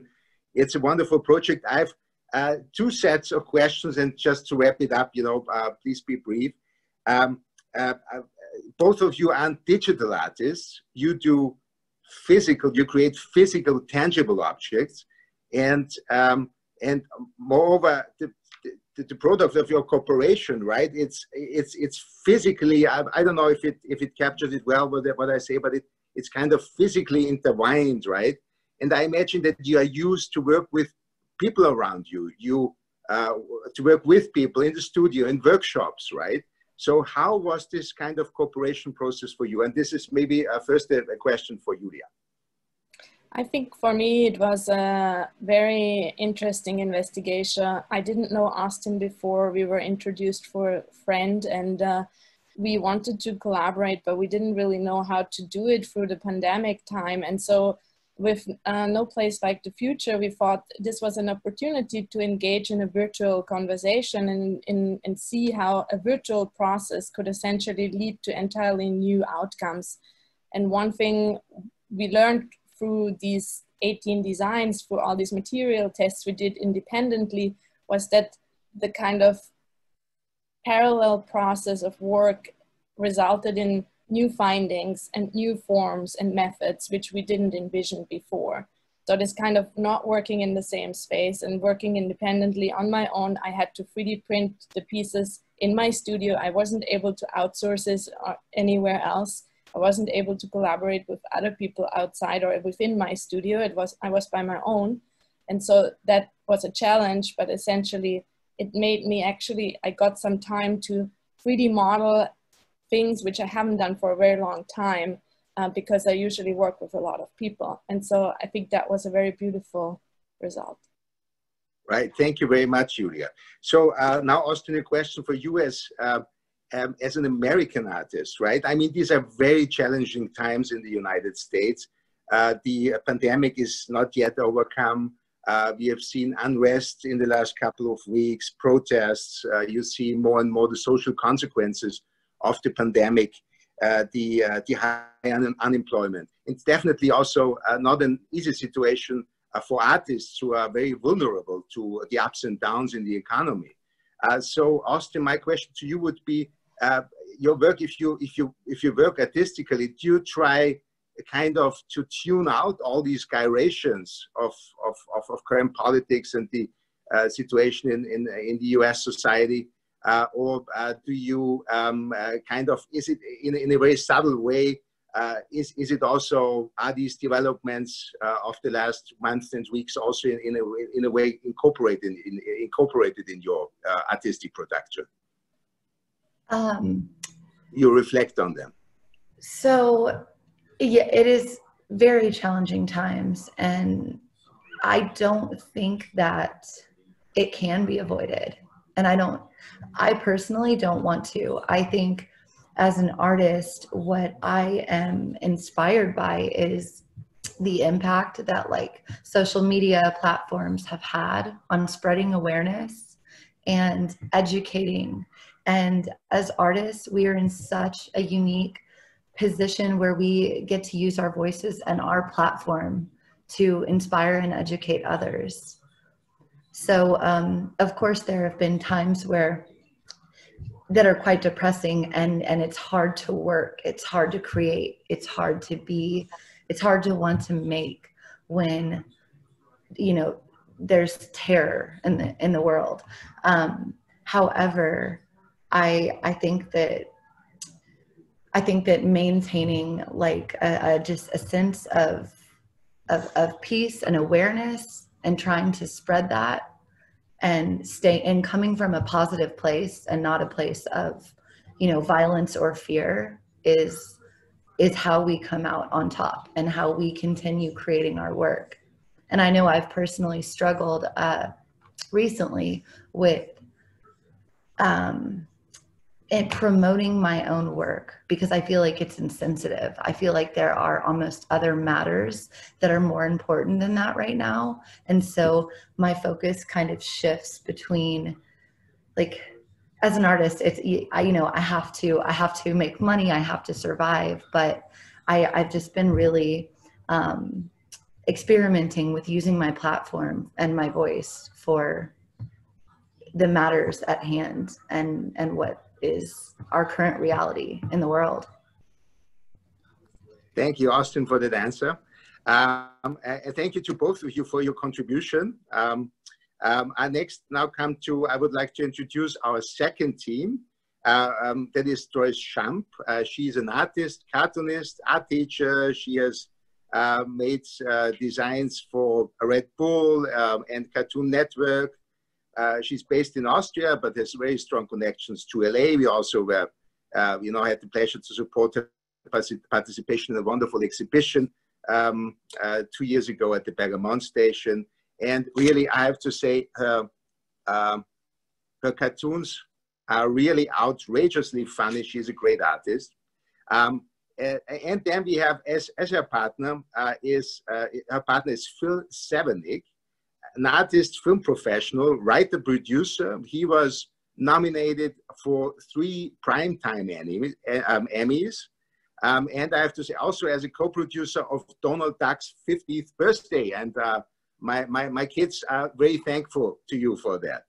Um, it, he, uh, he's based in LA, and I was, I was, I was kind of curious what the outcome, you know, of a cooperation between somebody, an artist with a you know film industry background, um, and uh, an artist cartoonist from from Austria would be. And I was very delighted to learn that uh, it is a short film entitled Visions of the Future. After all, you know this is Hollywood, and uh, it is only befitting that the movie industry is represented in our project.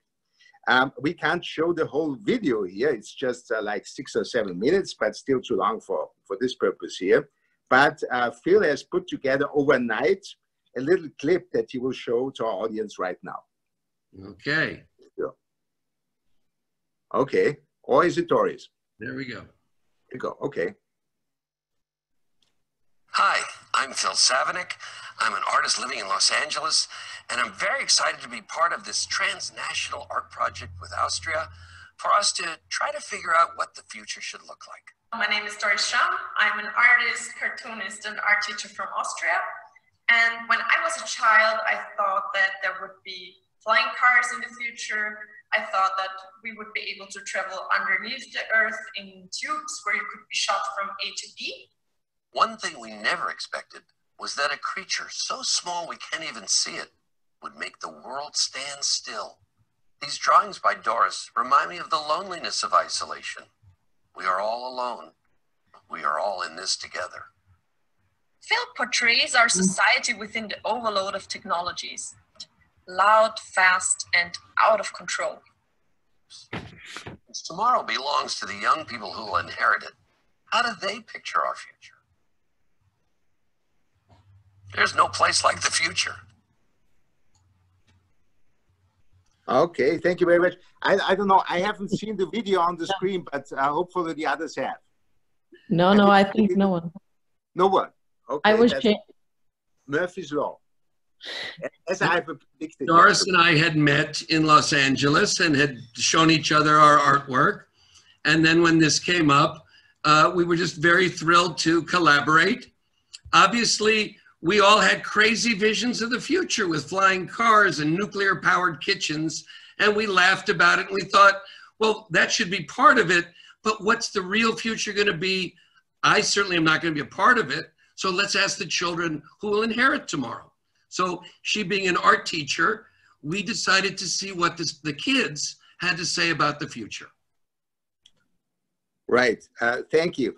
Uh, so um, you obviously both of you have a, a, great confidence in the in the next generation, um, and um, so uh, so Phil, you have a little bit explained. Just explain a little bit why did you choose? Because I think it was basically your idea um, to um, uh, to to make a video. Why did you choose this medium?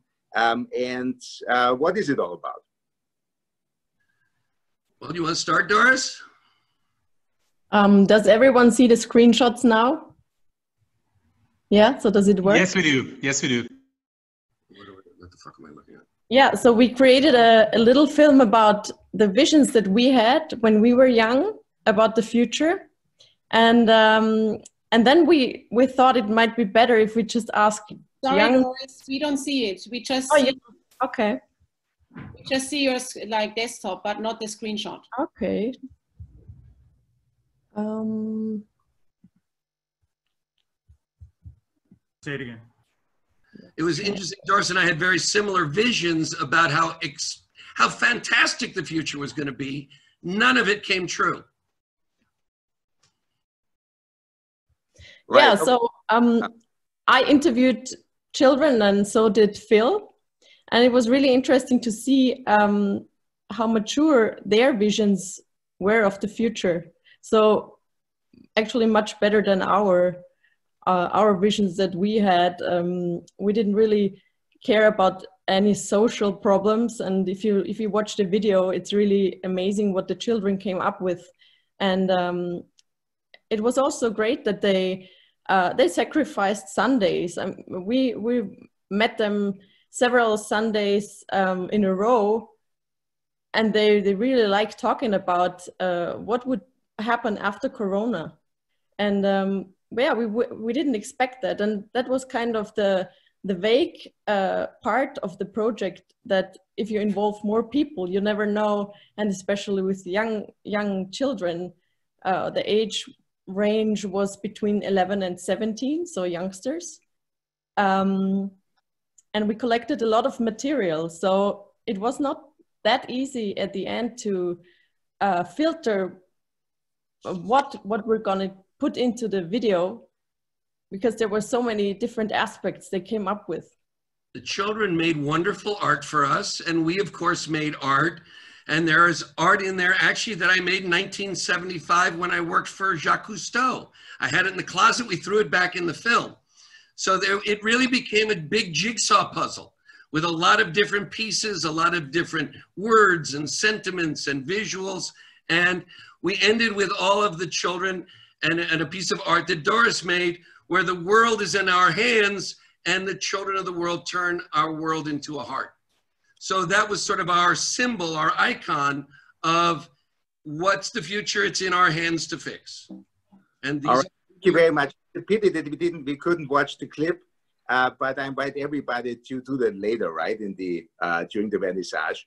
Um, so um, thank you. I've just one uh, quick question uh, for for Doris uh, because all this uh, no place like the future is about this cooperation between continents in times of the Corona crisis. So I would be interested in your perspective, right? Um, um, taking into account uh, the uh, the time, uh, the different time zones, nine hours time difference, and and all that. So how was the cooperation for you? Well, How the t- time change actually that was not a big di- uh, difficulty at all. Um, we just had to be online in time.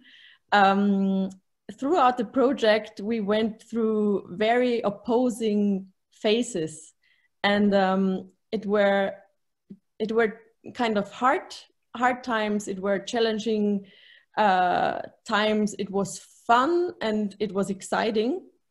And I, when I thought about when I thought back about the creation process, I think the hardest part for both of us was to find a common voice in the story because uh, Phil and I have a very strong background in storytelling, me as a cartoonist and him working in the movies for a long time.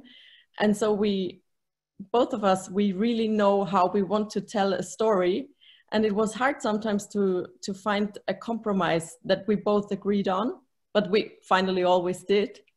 Um, so we had, a, we had to talk a lot about each other's ideas um, and then to to find out what's the best best to choose um, and what was really an exciting part and fun part in the project was that um, was the social part of involving the children and the youngsters where we also didn't know are they gonna gonna hook up like are they gonna um, get involved or are they are they just not gonna be interested and um, things is that the kids made friends. So now there is a transnational art project going on with the teenagers of the world. And they're going to continue talking to each other and working with each other and trying to make the world better long after our participation is over. So that's the beauty of this project is hopefully it will go on and on and on and reach a lot of people throughout the world. So thank you all so much for doing this. So uh, thank you, um, uh, uh, Phil and Doris, for your uh, participation and your contribution. We're excited about it. Uh, we need to wrap it up now. Uh, once again, I would like to thank all four artists for cooperating with us. It was really a great pleasure. And I would also like to thank Simone Bliss uh, from our team uh, who coordinated our efforts here from Los Angeles. Uh, thank you all and back to Washington. Well, this was a perfect way to end it, I have to say, to this couple of artists. Thank you so much. Really, really, what a way to wrap this up. Thanks, Andreas, also. Wonderful. Thank you also, Andreas, uh, from uh, my side. And now uh, for our final treat, uh, we want to go back uh, to San Francisco and present to you uh, the project that came out of this No Place for the Future, No Place Like the Future, and will now lead into the second part. And I hand over to you, Clara, to explain how it works. Thank you. I've been asked to keep this really brief because we're a little over time, um, about 45 minutes. So um, I love what Phil said at the end. He said, there's no place like the future. And that's actually, that's our mantra. That's, that's our truest conviction. And this is what propelled this project, that there's always something to aspire to. So no Place, this project, No Place Like the Future, was initiated as an experiment to overcome unconceivable the hurdles of social distancing and to create art in this scenario. Um, but we know that art excels in times of crisis, right? So I would like to start with Aza, who is the creator of a new digital makers platform. Aza, Silicon Valley was built on utopian visions of the future, as we all know and you were searching for your own utopia online mm. um, in, a, in a world where we're all basically um, siloed and entrenched and you took this mantra there's no place like the future to heart and created a digital paradise so please introduce makespace what is this amazing platform and how did it come to happen mm-hmm. thank you so much clara uh, and first i think it's most important to say um, this isn't just this isn't just mine. Um, just to call out some other collaborators, Jens, of course, was like integral to the whole product project. Um, Mei Li Ko, Jason Yuan, Wei Wei Li are just some of uh, those are the core team that have been working on this since uh, early April. Um, and honestly, it is a return, I think, to a lot of the values that Silicon Valley originally started from and have been lost. Um, I don't know how many of you remember this, but the very first web browser that Tim Berners-Lee built, it was not just read, it was right. built into the substrate of the web was supposed to be the ability for generativity and creativity as high up there as reading and consumptivity. And because that was lost in the second browser, the third browser, due to sort of mm-hmm. flukes in history, just literally grad student schedules and implementation, as software has eaten the world, so too has the consumptive nature of the web as seen through the web browser. And we really wanted to roll back the clock and say um, that there was a, a, a time, uh, maybe 15 years ago, when there were two paths that technology could have taken. Uh, it sort of diverged in the woods. One path was sort of that Doug Engelbart um, vision of technology as a fundamental extension to the most brilliant parts of who we are technology should be about making us extra human as opposed to superhuman. And then there is the other path, which is the free uh, build a joystick for human behavior and then monetize it business model. That's the one we've gone down. That's the one that's tearing apart our society. And there's this opportunity in COVID that I think we all started to feel and see where these two paths were once again near each other and you could jump from one to the other. The one other sort of like framing thought I would give is this.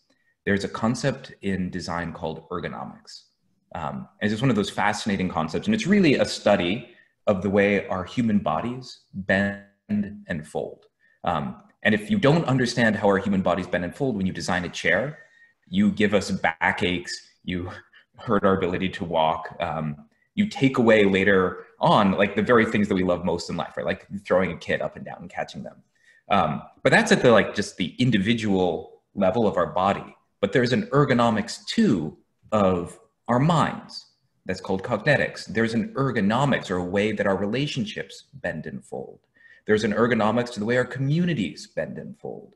There's ergonomics to the way our societies bend and fold. I really think of both humans and humanity as a kind of origami, and our technology is flexing us. And if you don't understand and have a clear eyed look into the mirror of what human nature really is, both the good and the transcendent, as well as the base and the scary, then technology will bend us in ways we do not go and break us. And I think that is so descriptive of what's happening right now. So this project was born out of a deep inquiry into how do human beings actually work? And how do we create spaces in which the best parts of ourselves can be reflected back to ourselves. Because while technology is not an existential threat per se, the worst in society is an existential threat. And if technology becomes the mirror that we look in and see what we think we are, but it's really a distorted version of who we are, and that is the worst version of ourselves, that becomes existential to civilization. Well, that's excellent. Thank you so much, Aza. I would love to continue talking um, Aza is also the co-founder of the Center for Humane Technologies, you, so you should check that out. It's one of the most fascinating organizations that I've met in recent years. Um, we will continue our conversation in MakeSpace, or better yet, um, this is the moment where we part ways, where Jens will give all of the artists that, are, that are here assembled, plus the audience, the adventurous pieces of the audience that want to embark on this digital journey into MakeSpace, a bit of a guide, um, a guidebook. Jens will be your guide in MakeSpace, and we have an alternative um, immersive experience with the creator, Aza Raskin, who will stay with us in the Zoom call and guide us through a passive user experience in Zoom. So you don't have to download a software and you, you can just stay in Zoom and enter all gallery spaces via Zoom. So just to know, um, I hand over to Jens, who has truly propelled the MakeSpace uh, project in the framework of the No Place Like the Future collaboration. So Jens, um, you have the floor to introduce what this project does and um, give people some pointers. Well, okay, so um, let's go directly to MakeSpace. Um, well, sorry, um, uh, yeah. Sorry, I just need to. Uh, so um, are we going into the the phase? I think we have a little mix up. Are we going into the phase now for for starting already the the the, the zoom in, or are we going to do this afterwards? We do that afterwards. So Jens just explains how they need to download the app and um, and what to do, and then they leave for Makespace. We wrap this up and we stay with Aza in Zoom. Okay, I just wanted to say, so for those of you, um, we, we just have a little uh, view now. Hey, guys. See how that works. And uh, uh, and then uh, uh, we do the final wrap up. We have our toast. And then for those of you who want to stay uh, with uh, Aza and, uh, and, and Jens, they stay. And the others could leave, but just stay with us so that we have a final toast to close this whole event. Thank you. Sorry, Jens, go ahead. No. All right. So um, very briefly, there is this. Um, the MakeSpace is a software, so it's not a website that you can watch in the browser. You have to download a software, and uh, in the in the Zoom chat, there should be plenty of links. Maybe we just post the link again. There is a PDF online. Ah, I found it. Uh, one second. I posted to the chat. There's a PDF online that will guide you through the steps of downloading, unzipping, installing, and opening this MakeSpace software. So as of today, we have a working Mac Macintosh version, and unfortunately, uh, yesterday night the Windows version broke. So this is a very, very experimental experience today. um, and I know there are some questions uh, installing the software. So Aza will stay in the chat and you can ask Aza. I will move on into the make space. You can already see what happens there. It's like a two-dimensional map. And the most important things are, first of all, zoom in, uh, wear headphones, and those little rectangles represent rooms. If your face is in the rectangles, you only hear people that are with you in the rectangles. If you are out of those rooms, you will hear everyone. I hope this was brief uh, enough. Clara, I give the mic back to you. Perfect. And I hand it over to Eva to wrap up this fantastic event.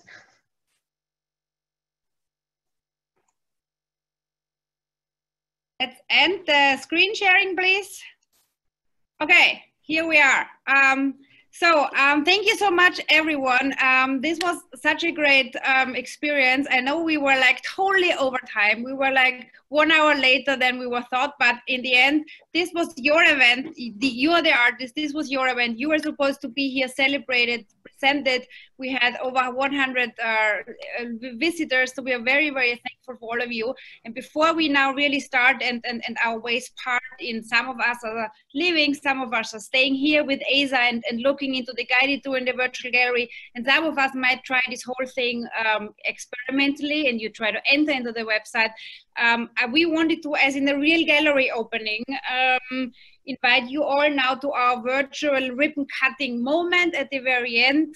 Um, please raise your glass. I have the ambassador here next to me because he Hey. had to leave. So raise your glass, those of you who have a glass. Congratulations again to all of you.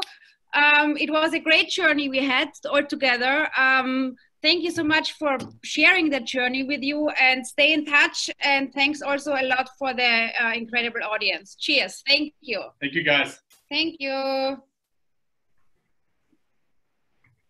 And of course, don't forget to check out all the artworks and the videos and all the important information we have on our website, www.noplacelikethefuture.org, where there is also the artworks all online now and whatever you saw today, um, you can look into in, in, in detail and, um, and, and enjoy the whole work. So those of you who stay with us now and, and enjoy the new experience, please stay and the others, thank you very much for, for coming and, and, and staying with us. Thank you. Bye. So I give back over to Clara and Jens and Aza. All right, Aza, want to take Yeah. it away? Uh, Let me let me take it away. Here we go. So let us uh, come over to MakeSpace. Can you guys all see this? Yes. Cool. Uh, maybe worth everyone muting on the Zoom. Um, so what you'll see here is a full map um, of everyone else that's currently in MakeSpace. And you can see, in fact, that there are uh, different rooms that we can go investigate. Let's see, let's take a little bit look at, uh, at this. Cool, a little bit about it. And you're like, oh, that's interesting. There's actually the full website right here um, for No Place Like the Future. Um, and it's fun because you can actually uh, put in uh, any website you want. So I'm just going to create a new website, which happens to be a Google search for the Yellow Submarine. Um, and so every object in this space uh, becomes a shared slate for human attention. Um, there's no more like, are you looking at what I'm looking at? If you're looking at the same, at something, it's always the same. So let's go over, you can start to hear some audio, hopefully. Oh, look, there's a conversation going on up here. Let's go join. Okay. Hello. Hi, Aza and Jens. Um, can you hear me okay? Yeah, we can hear you. Yes. Okay, and hello to everybody on the Zoom who's following you guys. So um, I'm here with Lalin and uh, Primavera, and we're having a really fascinating panel. And so it's nice to have some audience members. yeah, we want to hear what you're saying. Well, we, you know, it's all, there's what we're saying, and then there's the fact that we're saying it on MakeSpace, which just completely changes the nature of what we're saying. And we've been talking about identity and just this idea of, you know, it's like, what, what are the boundaries of your identity and what kinds of tools can we create that will extend those boundaries and allow us to become perhaps, you know, uh, these more um, multifaceted sort of constellations of multiple people, perhaps even, um, and how culture feeds into that, and you know how aspiration about what we would like to be for as a society feeds into that, and so it's really exciting. And and Primavera just said this really cool thing that um, I had never heard her say before, which is that she's she may she may appear to be from France, but in fact she is from the internet. You take it from here. From but Aza knew, I think. Because Aza is also from the internet, so he probably, he probably recognized my cultural uh, indicia. Yeah, we, we speak the same dialect. Yeah. yeah. exactly. when we're between each other, we can speak the internet dialect, and then we have to speak back to international English again. We actually are originally from the primordial soup of the latent space. That's so. That's actually yeah. Wow. That's another thing is the latent. That's amazing. I'm not sure I want to be from the latent space. I'm just going to throw that out there. Yeah, I'm not sure you're from the latent space yet, Vera, but you might, you might end up in there as well. I mean, so just thinking about what you were talking about, Vero, and like the multiple sort of fluid versions of self. Um, one of the things we played around with really early on was the idea of multiple selves therapy, which is there are different aspects of each one of ourselves that it's nice to be able to inhabit. Um, and so we just quickly started drawing spaces for us to be that way. So for instance, this might be my like my angry self. And when I come over here, I'm like, I'm going to express my anger. And then I come over here, I'm like, no, it's actually just all about sort of fun and games. Everything's a cosmic joke. And this is the part where I look up and to the right of the camera. Um, and so it's an interesting way of. A, this is fantastic. Thank you. This is really fantastic. No, it's cool. Like I feel like you know when when you're in a conversation and you want to say something, but you instead of using like smileys and stuff like that, you can just locate yourself in the square that represent your current state of mind, and then you can say something, and people know that you're saying this on purpose to express your anger. Mm-hmm. Then you can move away of the anger and you can be fine again. Yeah. You know, it's like a beautiful way of resolving disputes. I actually ended up with a in a really while we were testing it out. I ended up um, with a friend in a really emotional conversation, and when we ended the conversation, we just drew a new space for us to go to because we're like, oh, it's we want to be like happy and rainbows now, so we just literally made happy rainbows. Mm. and oftentimes you say that like I feel like we're stuck in a rut or I feel like we're stuck in a very dark space right now. And I guess here in MakeSpace you could actually just lighten it up. Yeah, exactly. You're like, oh, um, also just another really interesting side note is normally on Zoom, there's no sense of spatiality. I can point to Brooke who's above me and I can point over to Primavera who's beside mm. me. And this kind of really core human cool. ability of indexability really cool. Does like yeah. has been stripped from us. yeah, what we were discussing before before you came was uh, how you know you have like two things. One thing is like the digital usually lose the amazingness of the physical, such as spatiality, directionality, uh, volume that change when you move closer or far from people. So like the digital usually doesn't replicate those physical assets, but at the same time, the digital can provide so much more value that the physical couldn't have, which is, for instance, drawing little rainbow on my head. yeah, like you cannot do that in the physical world, and it's actually it completely changed the interaction. So you can, it's kind of like at, at the opposite of augmented reality, right? It's not that you're bringing digital into like phys- well, augmented reality is you're bringing the digital within the the physical world, whereas here you're just augmenting the the the communication with things that the physical world could not provide you, Mhm. right? Mm-hmm. It's quite cool. And so Makespace actually has both. It, it brings back some levels of physicality or, or some of the characteristics of the physical communication space. And it also enables those enhanced features that the, the physical world doesn't have. I love that. So quite a quite a quite a good um, challenge. I think about all the time that technology is supposed to extend the parts of us which are most innately brilliant. Like take our creativity creativity and extend them. John Mm. Cage, I think, said that um, the computers were supposed to give us more work, not less. And what I think he meant by that is that it's supposed to like create way more fields in which we can explore, um, rather than just like Mm. constantly handing us um, sort of like those sushi boats that go by. It's not like that's the sort of consumptive model, and this is the like no, you just you're always in a studio. You always you always get to make.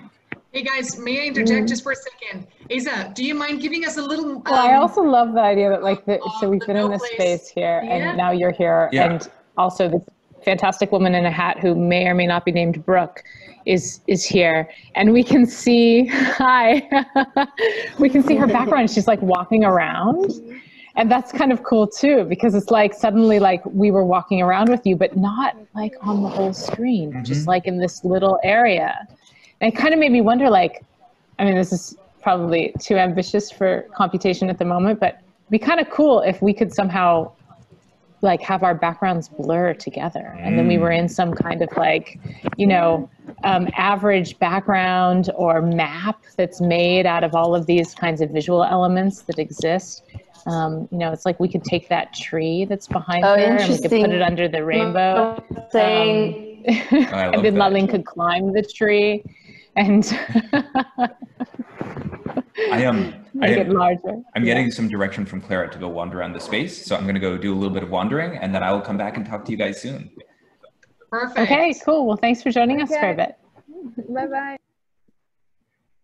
So as you see, as I leave the space, um, actually, if you get really close, you can hear just a little bit of their audio. But as you leave the space, because just like a normal room, audio leaks just a little bit. It's all spatial. Let's go explore. Um, Let's go explore. so here we go. Here is Walter and Francis's uh, piece. Um, and it's neat is you can see as soon as you enter the room, Hello, I'm Walter. you can hear the audio. And talking to Francis today. Hi, Francis? that's me. And uh, yeah, the first thing that we're going to talk about is basically the idea of uh, containment and uh, having been at home for seven weeks or I'm so, make and a, a note here so I can start taking some notes in real time. images from the outside, but images that came to our computers on digital screens. And the question is like, bit or Go. different from a reality that we're used to see or to perceive. So, what do you think, Francis? So I'm I'm super confused by like this impact of this moment because I, I'm kind of against these uh, history defining moments per se. As you know, do you know what I mean? Like kind of like why why do we look at art through the film framework of post war? So like the war becomes like the crux of what how we're looking at the history of art when in fact it's probably more about the migration and the way people move around the planet that has Brooke. had the impact and not so much the war even if their experiences are coming from the war or because of the war. Mm-hmm. That's not exactly what changed things So i would argue. the main issue is that, that we're perceiving reality or the world as it is right now through images, like seeing all those empty cities, cities that we only know populated dense, and now everything seems different in a way that we cannot really fathom in a real way to be out there and and and have an All right, idea I of will, how I'll leave everything this be is for looking like. Now. Um, what's sort of fun though is if anyone else is more precisely than editing norm- this, it'll get edited in real time. So it's sort of like everything is a Google Doc all the time, everywhere. Um, the um, the raw nature of See what happens. how things are functioning. Like this is also a possibility, don't you think? Oh, Yeah, I mean, this is uh, typing. Oh, there especially when I look at my own archive of photographs that I've been taking over the past 20 years in, in cities like New York, Paris, Tokyo, and and sometimes I'm I'm interested in empty spaces or in, in, in empty corners or something that is kind of. oh, and now we can hear a different set of sounds. Like there's clearly a conversation going on somewhere. Let's go join this one. Kudan. Ja, Kommst du? absolut. Okay. Ah, hi. Hey, Aza. Hey guys. We Hey, are could- sitting in we your. could go to have a coffee. Oh, I would love to have a coffee with you guys. Yeah. Let's let's go to over to the coffee. Come come with us. No, like uh, this is a nice table up over here. Ooh, nice. Here, let me bring over some coffee. Please. Can I grab the coffee? So, oh maybe maybe I just locked it. I unlock it. Okay. Oh, So I'm showing you my bag. Fine, I'll just go to a different table then. Where's the waiter? Here we go. Let's see. I'll, I'll play waiter. Here, I'll give you some. Oh, thank you so much. Yeah. Wow. No, this is mine. This is mine. Oh, sorry. Let no, me, I uh, share with you. use the share power of, uh, we can, no, we can we can share all my coffee. super nice, Aza, and the cigarette. And the cigarette. Very I mean, good. I feel like I. No, so I go to another table where there's no smoke. oh, sorry. Is, is there anything You else I want to be a bring you guys? Well, you know, we have to eat, we have to drink. There's a cigarette. Is is this life, Aza? Yeah. Should we should we should we talk about something that uh, is potentially not silly, not stupid? Sure. Well, I mean, what is what is? I'm I'm curious. What what are you guys finding meaning in here? Again, you you this has been a long process for for you. So how how are you feeling right now?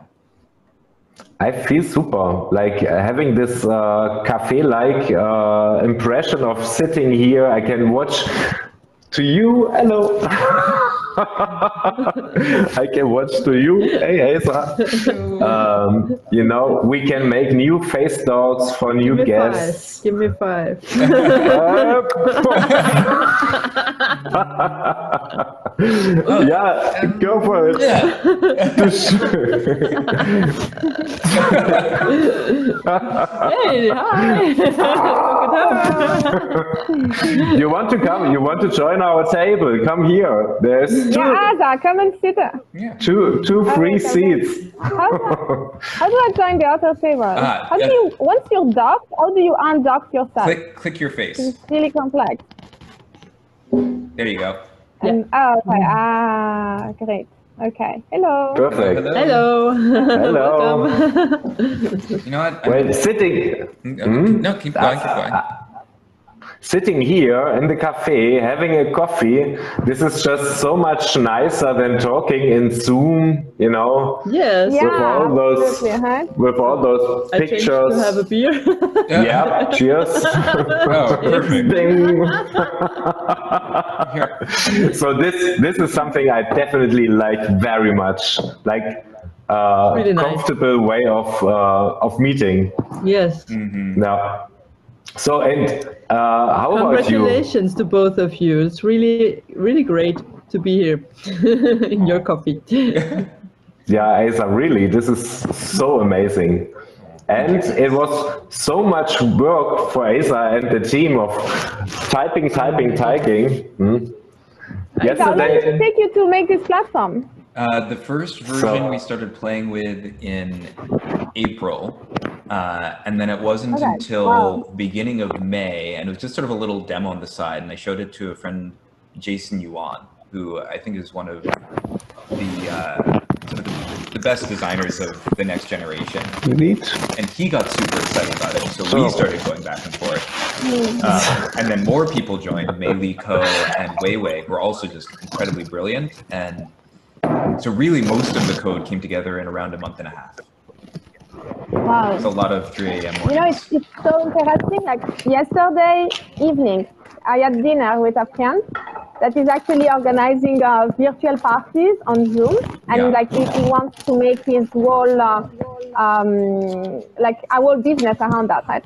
And I was telling him there is no way. Like the problem with those fucking parties, they all suck because you cannot have little cluster of conversations that do not disrupt the other people, you know. And uh, and it's so funny because like literally yesterday evening I was talking about this, and this morning I discovered this fantastic platform, which is exactly 100% what I was claiming I wanted to see.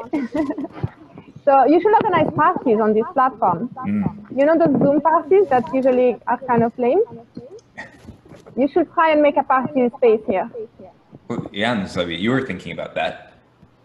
Well, I, I, I already did an instrument. I, I, I built an instrument. So just go in the room that is called the garden. And there you will find three websites. You have to click on them. And then a rose will appear. And this is like a acoustic loophole through the whole world. So if you turn the rose, it will change sound. And in my computer, the same rose will change like in the same way the sound. So we can make a uh, concert together. You, understand, you know what I mean? Should we go over Shall, shall we go? Shall we go? Do we, do we want? Yeah, let's go. go. Let's Yeah. it. All right. Jens, you lead away, please. Enough coffee. Yeah. Okay. yeah, lead the way because we don't know where to go. And for people who are watching on Zoom, you can actually it? hear where people are. Uh, because, let's see, where, where did Jens go? Jens, say something so I can hear you. Yes, here, it's here. See? Come So- over here. I can hear that he's over on the right side of the screen. Yes, it's here, it's here, oh, it's here. Come. That is And, and then we have to go in here. All right, guys, we're entering the room. So you, if you want to find us, you need to come inside the room. Oh wait, is it like a close? Yeah, it's right up here. Yeah. And Brooke, come this way. So, uh, now on the left side, you see those three gardens, and they are meant to be like uh, pub- public pub- public spaces in the internet. So those are websites, and in order to activate them, you just have to click once on them, then they will have a, a dark border, and you are live in the website, and you click again. Ah! And then you will see the rose and listen to some sound. And someone I see is already moving the rose. It's me. So, and this is you. All right. Hello, Isam. So if, if, if all the others of you are able to see the rose, they should move. Uh, the rose should move also in your screen. So, and this is the idea. You can also activate with the mouse. Just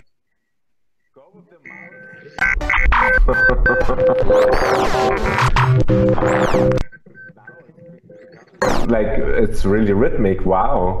okay, I, I I also want to move it. All right, you move it. Un, uh, unlock yourself so everyone can watch you. So,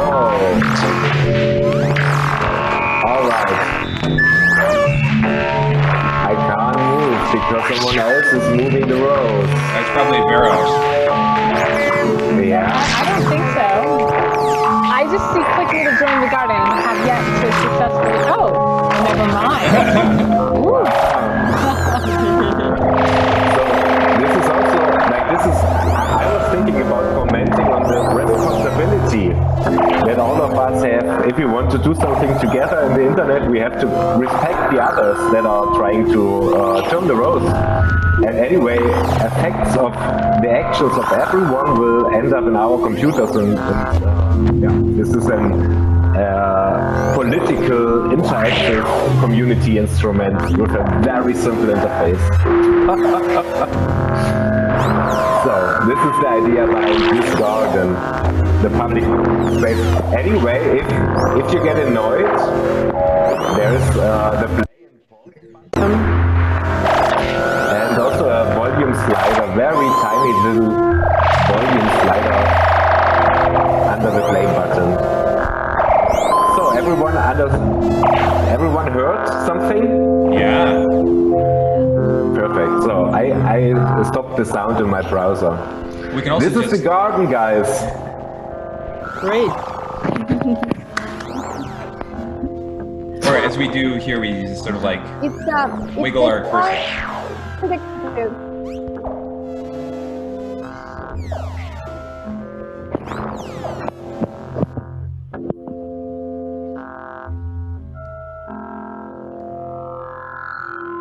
Go. That was excellent, Jens.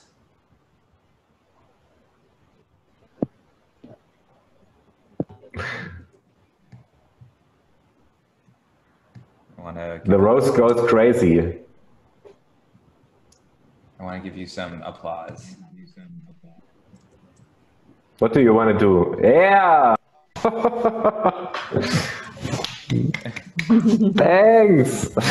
Oh, I hear something. Someone left of my. Ah, this is a spatial. Wow, Aza, you are going crazy. just, just what it deserves. so Very it's, nice. A, it's how to actually make those little uh, things. How to become editors. Ah, uh, right now everyone is in um, non-edit mode um, because. Uh, but yes, uh, in the in the other versions, if we give you permission, then you can just edit and everyone can make.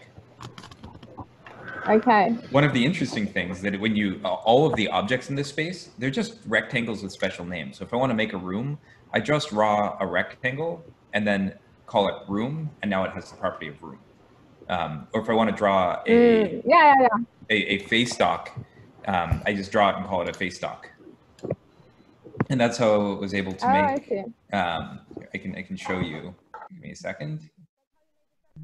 Uh, I'm gonna come over here. I'm gonna unlock this. I'm just gonna copy this over, and you're gonna see. Yeah, you can start to hear them. Oh. There they are. There they are. Right here. Right here is just an image, and there are these face docks underneath it, which are just Not just any image. it. It's there we go. And now we've made a hopscotch. Yay!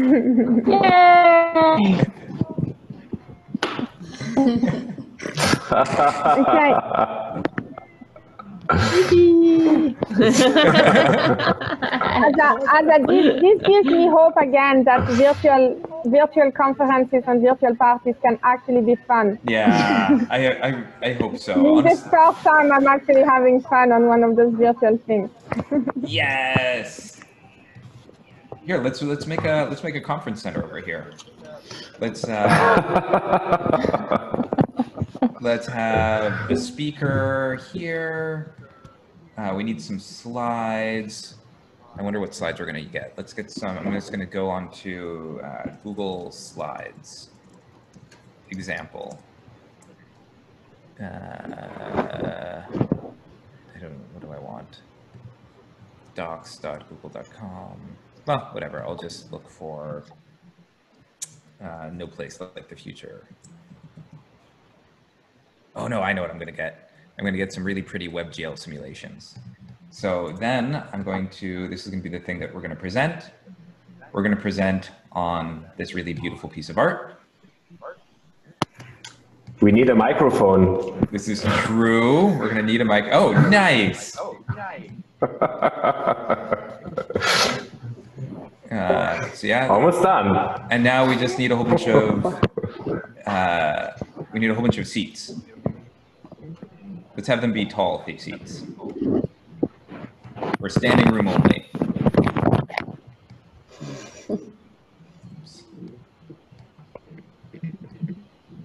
Oh.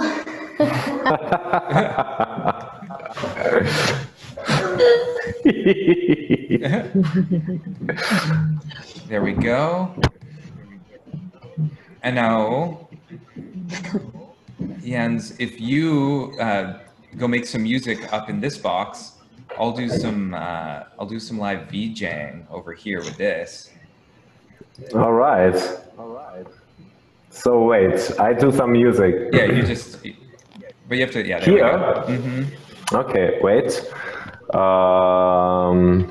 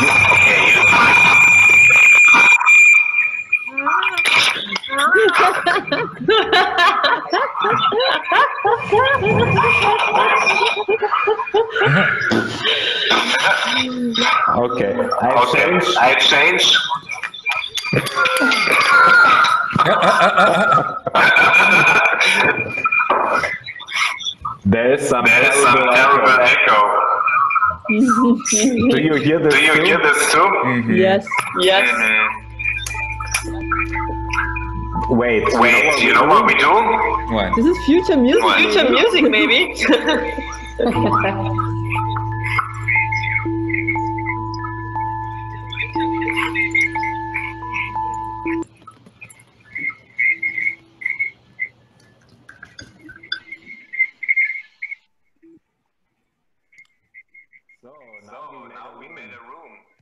Oh. Oh, The echo, the is echo is coming from from someone someone from us. from us. What, What is is happening? Let's try something. Nice.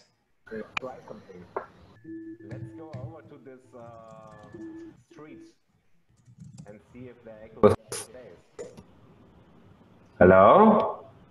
Hello. Oh, better, huh? isn't it? Mm-hmm. Much better. Much better. Ma- so, where does it come from? We ha- we have to have some Aza. We need someone, one person, whose purpose is debugging the echo loops. It needs to be a musician, Yes. but not me. Should be an experimental musician, I think. Whoa! What's ah? There. ah I wanted because- some music visuals for you. We need visuals, it's true. We have to click on play though, isn't Yeah, it? that is true. You guys have to click on play. Okay, I clicked play. Hey, Vero. Hey, how's it going? Yeah, no, not too bad. It's sort of nice to come over and have just like a one-on-one conversation for a little bit. If there's someone You know, people do Bob because castle Primavera is without Primavera in it. Wait, say that again. You're sort of breaking up. You look over at the hopscotch, Yeah. right where the number two would be. Yeah. There's like a that's the background of Primavera's room in the castle. Oh my gosh. Of course, of course it is. I like it that it sort of blends into the cement of the. Uh, it's like somehow it's very simpatico. Wait, so are you still on the Zoom? I am. You. This conversation is being broadcast live to upwards of four people. Wow, four people. That's my lucky number. That's not true. So um, th- those are just the panelists left Oh. in a panel. Um, right now, you still have 19 people watching. 19 Yes. people. Decreased since obviously um, we're like an hour and a half over the Yeah. um, the predicted time frame, and this is probably also a good moment to wrap it up. Hmm. Otherwise, people will just keep looking at the screen and and you know die of hunger and thirst um, because they're so too mesmerized to leave. Um, so if that's okay with you guys, thank you so much. This was in fact an incredible experience. I'm so jealous of you being in Makespace. can't believe this. So please, Aza, keep us posted when the Windows version is ready. Um, and best of luck with your launch today. This is an historic moment, and I'm sure in a year's time, everyone be, will be on Makespace. And um, I can't believe that we were one of the first ones to experience this. Um, Is the very first public outing. This, This is the is most a- people that have ever been in Makespace uh, ever. Wow. This Thank is you a so real much for- treat. And since we recorded this, this um, this will be dear to us for the rest of our lives. Thank you so much for sharing it with us. Oh, look, Thank so Eva is back. I was always here. I was just, uh, Sorry. I was watching you. I just had to drink more wine. So that's why I didn't give you a camera up. Oh, I'm jealous as well. That's great. All right, maybe this is a- an excellent moment to also thank Eva, who has been coordinating this um, head-heavy and very, very complex project, um, including four different cities, a gazillion artists from from two continents. You've done an excellent job. So, also from our side, the people that are left in the panelist room, big thank you. Thank you all. Thank you, Aza. You did an amazing job. I mean, I'm Hiya. still not fully into it because I need to learn these kind of things. But um, thank you again. It's something great that you did. What thank happens you, here? Thank Thank- you.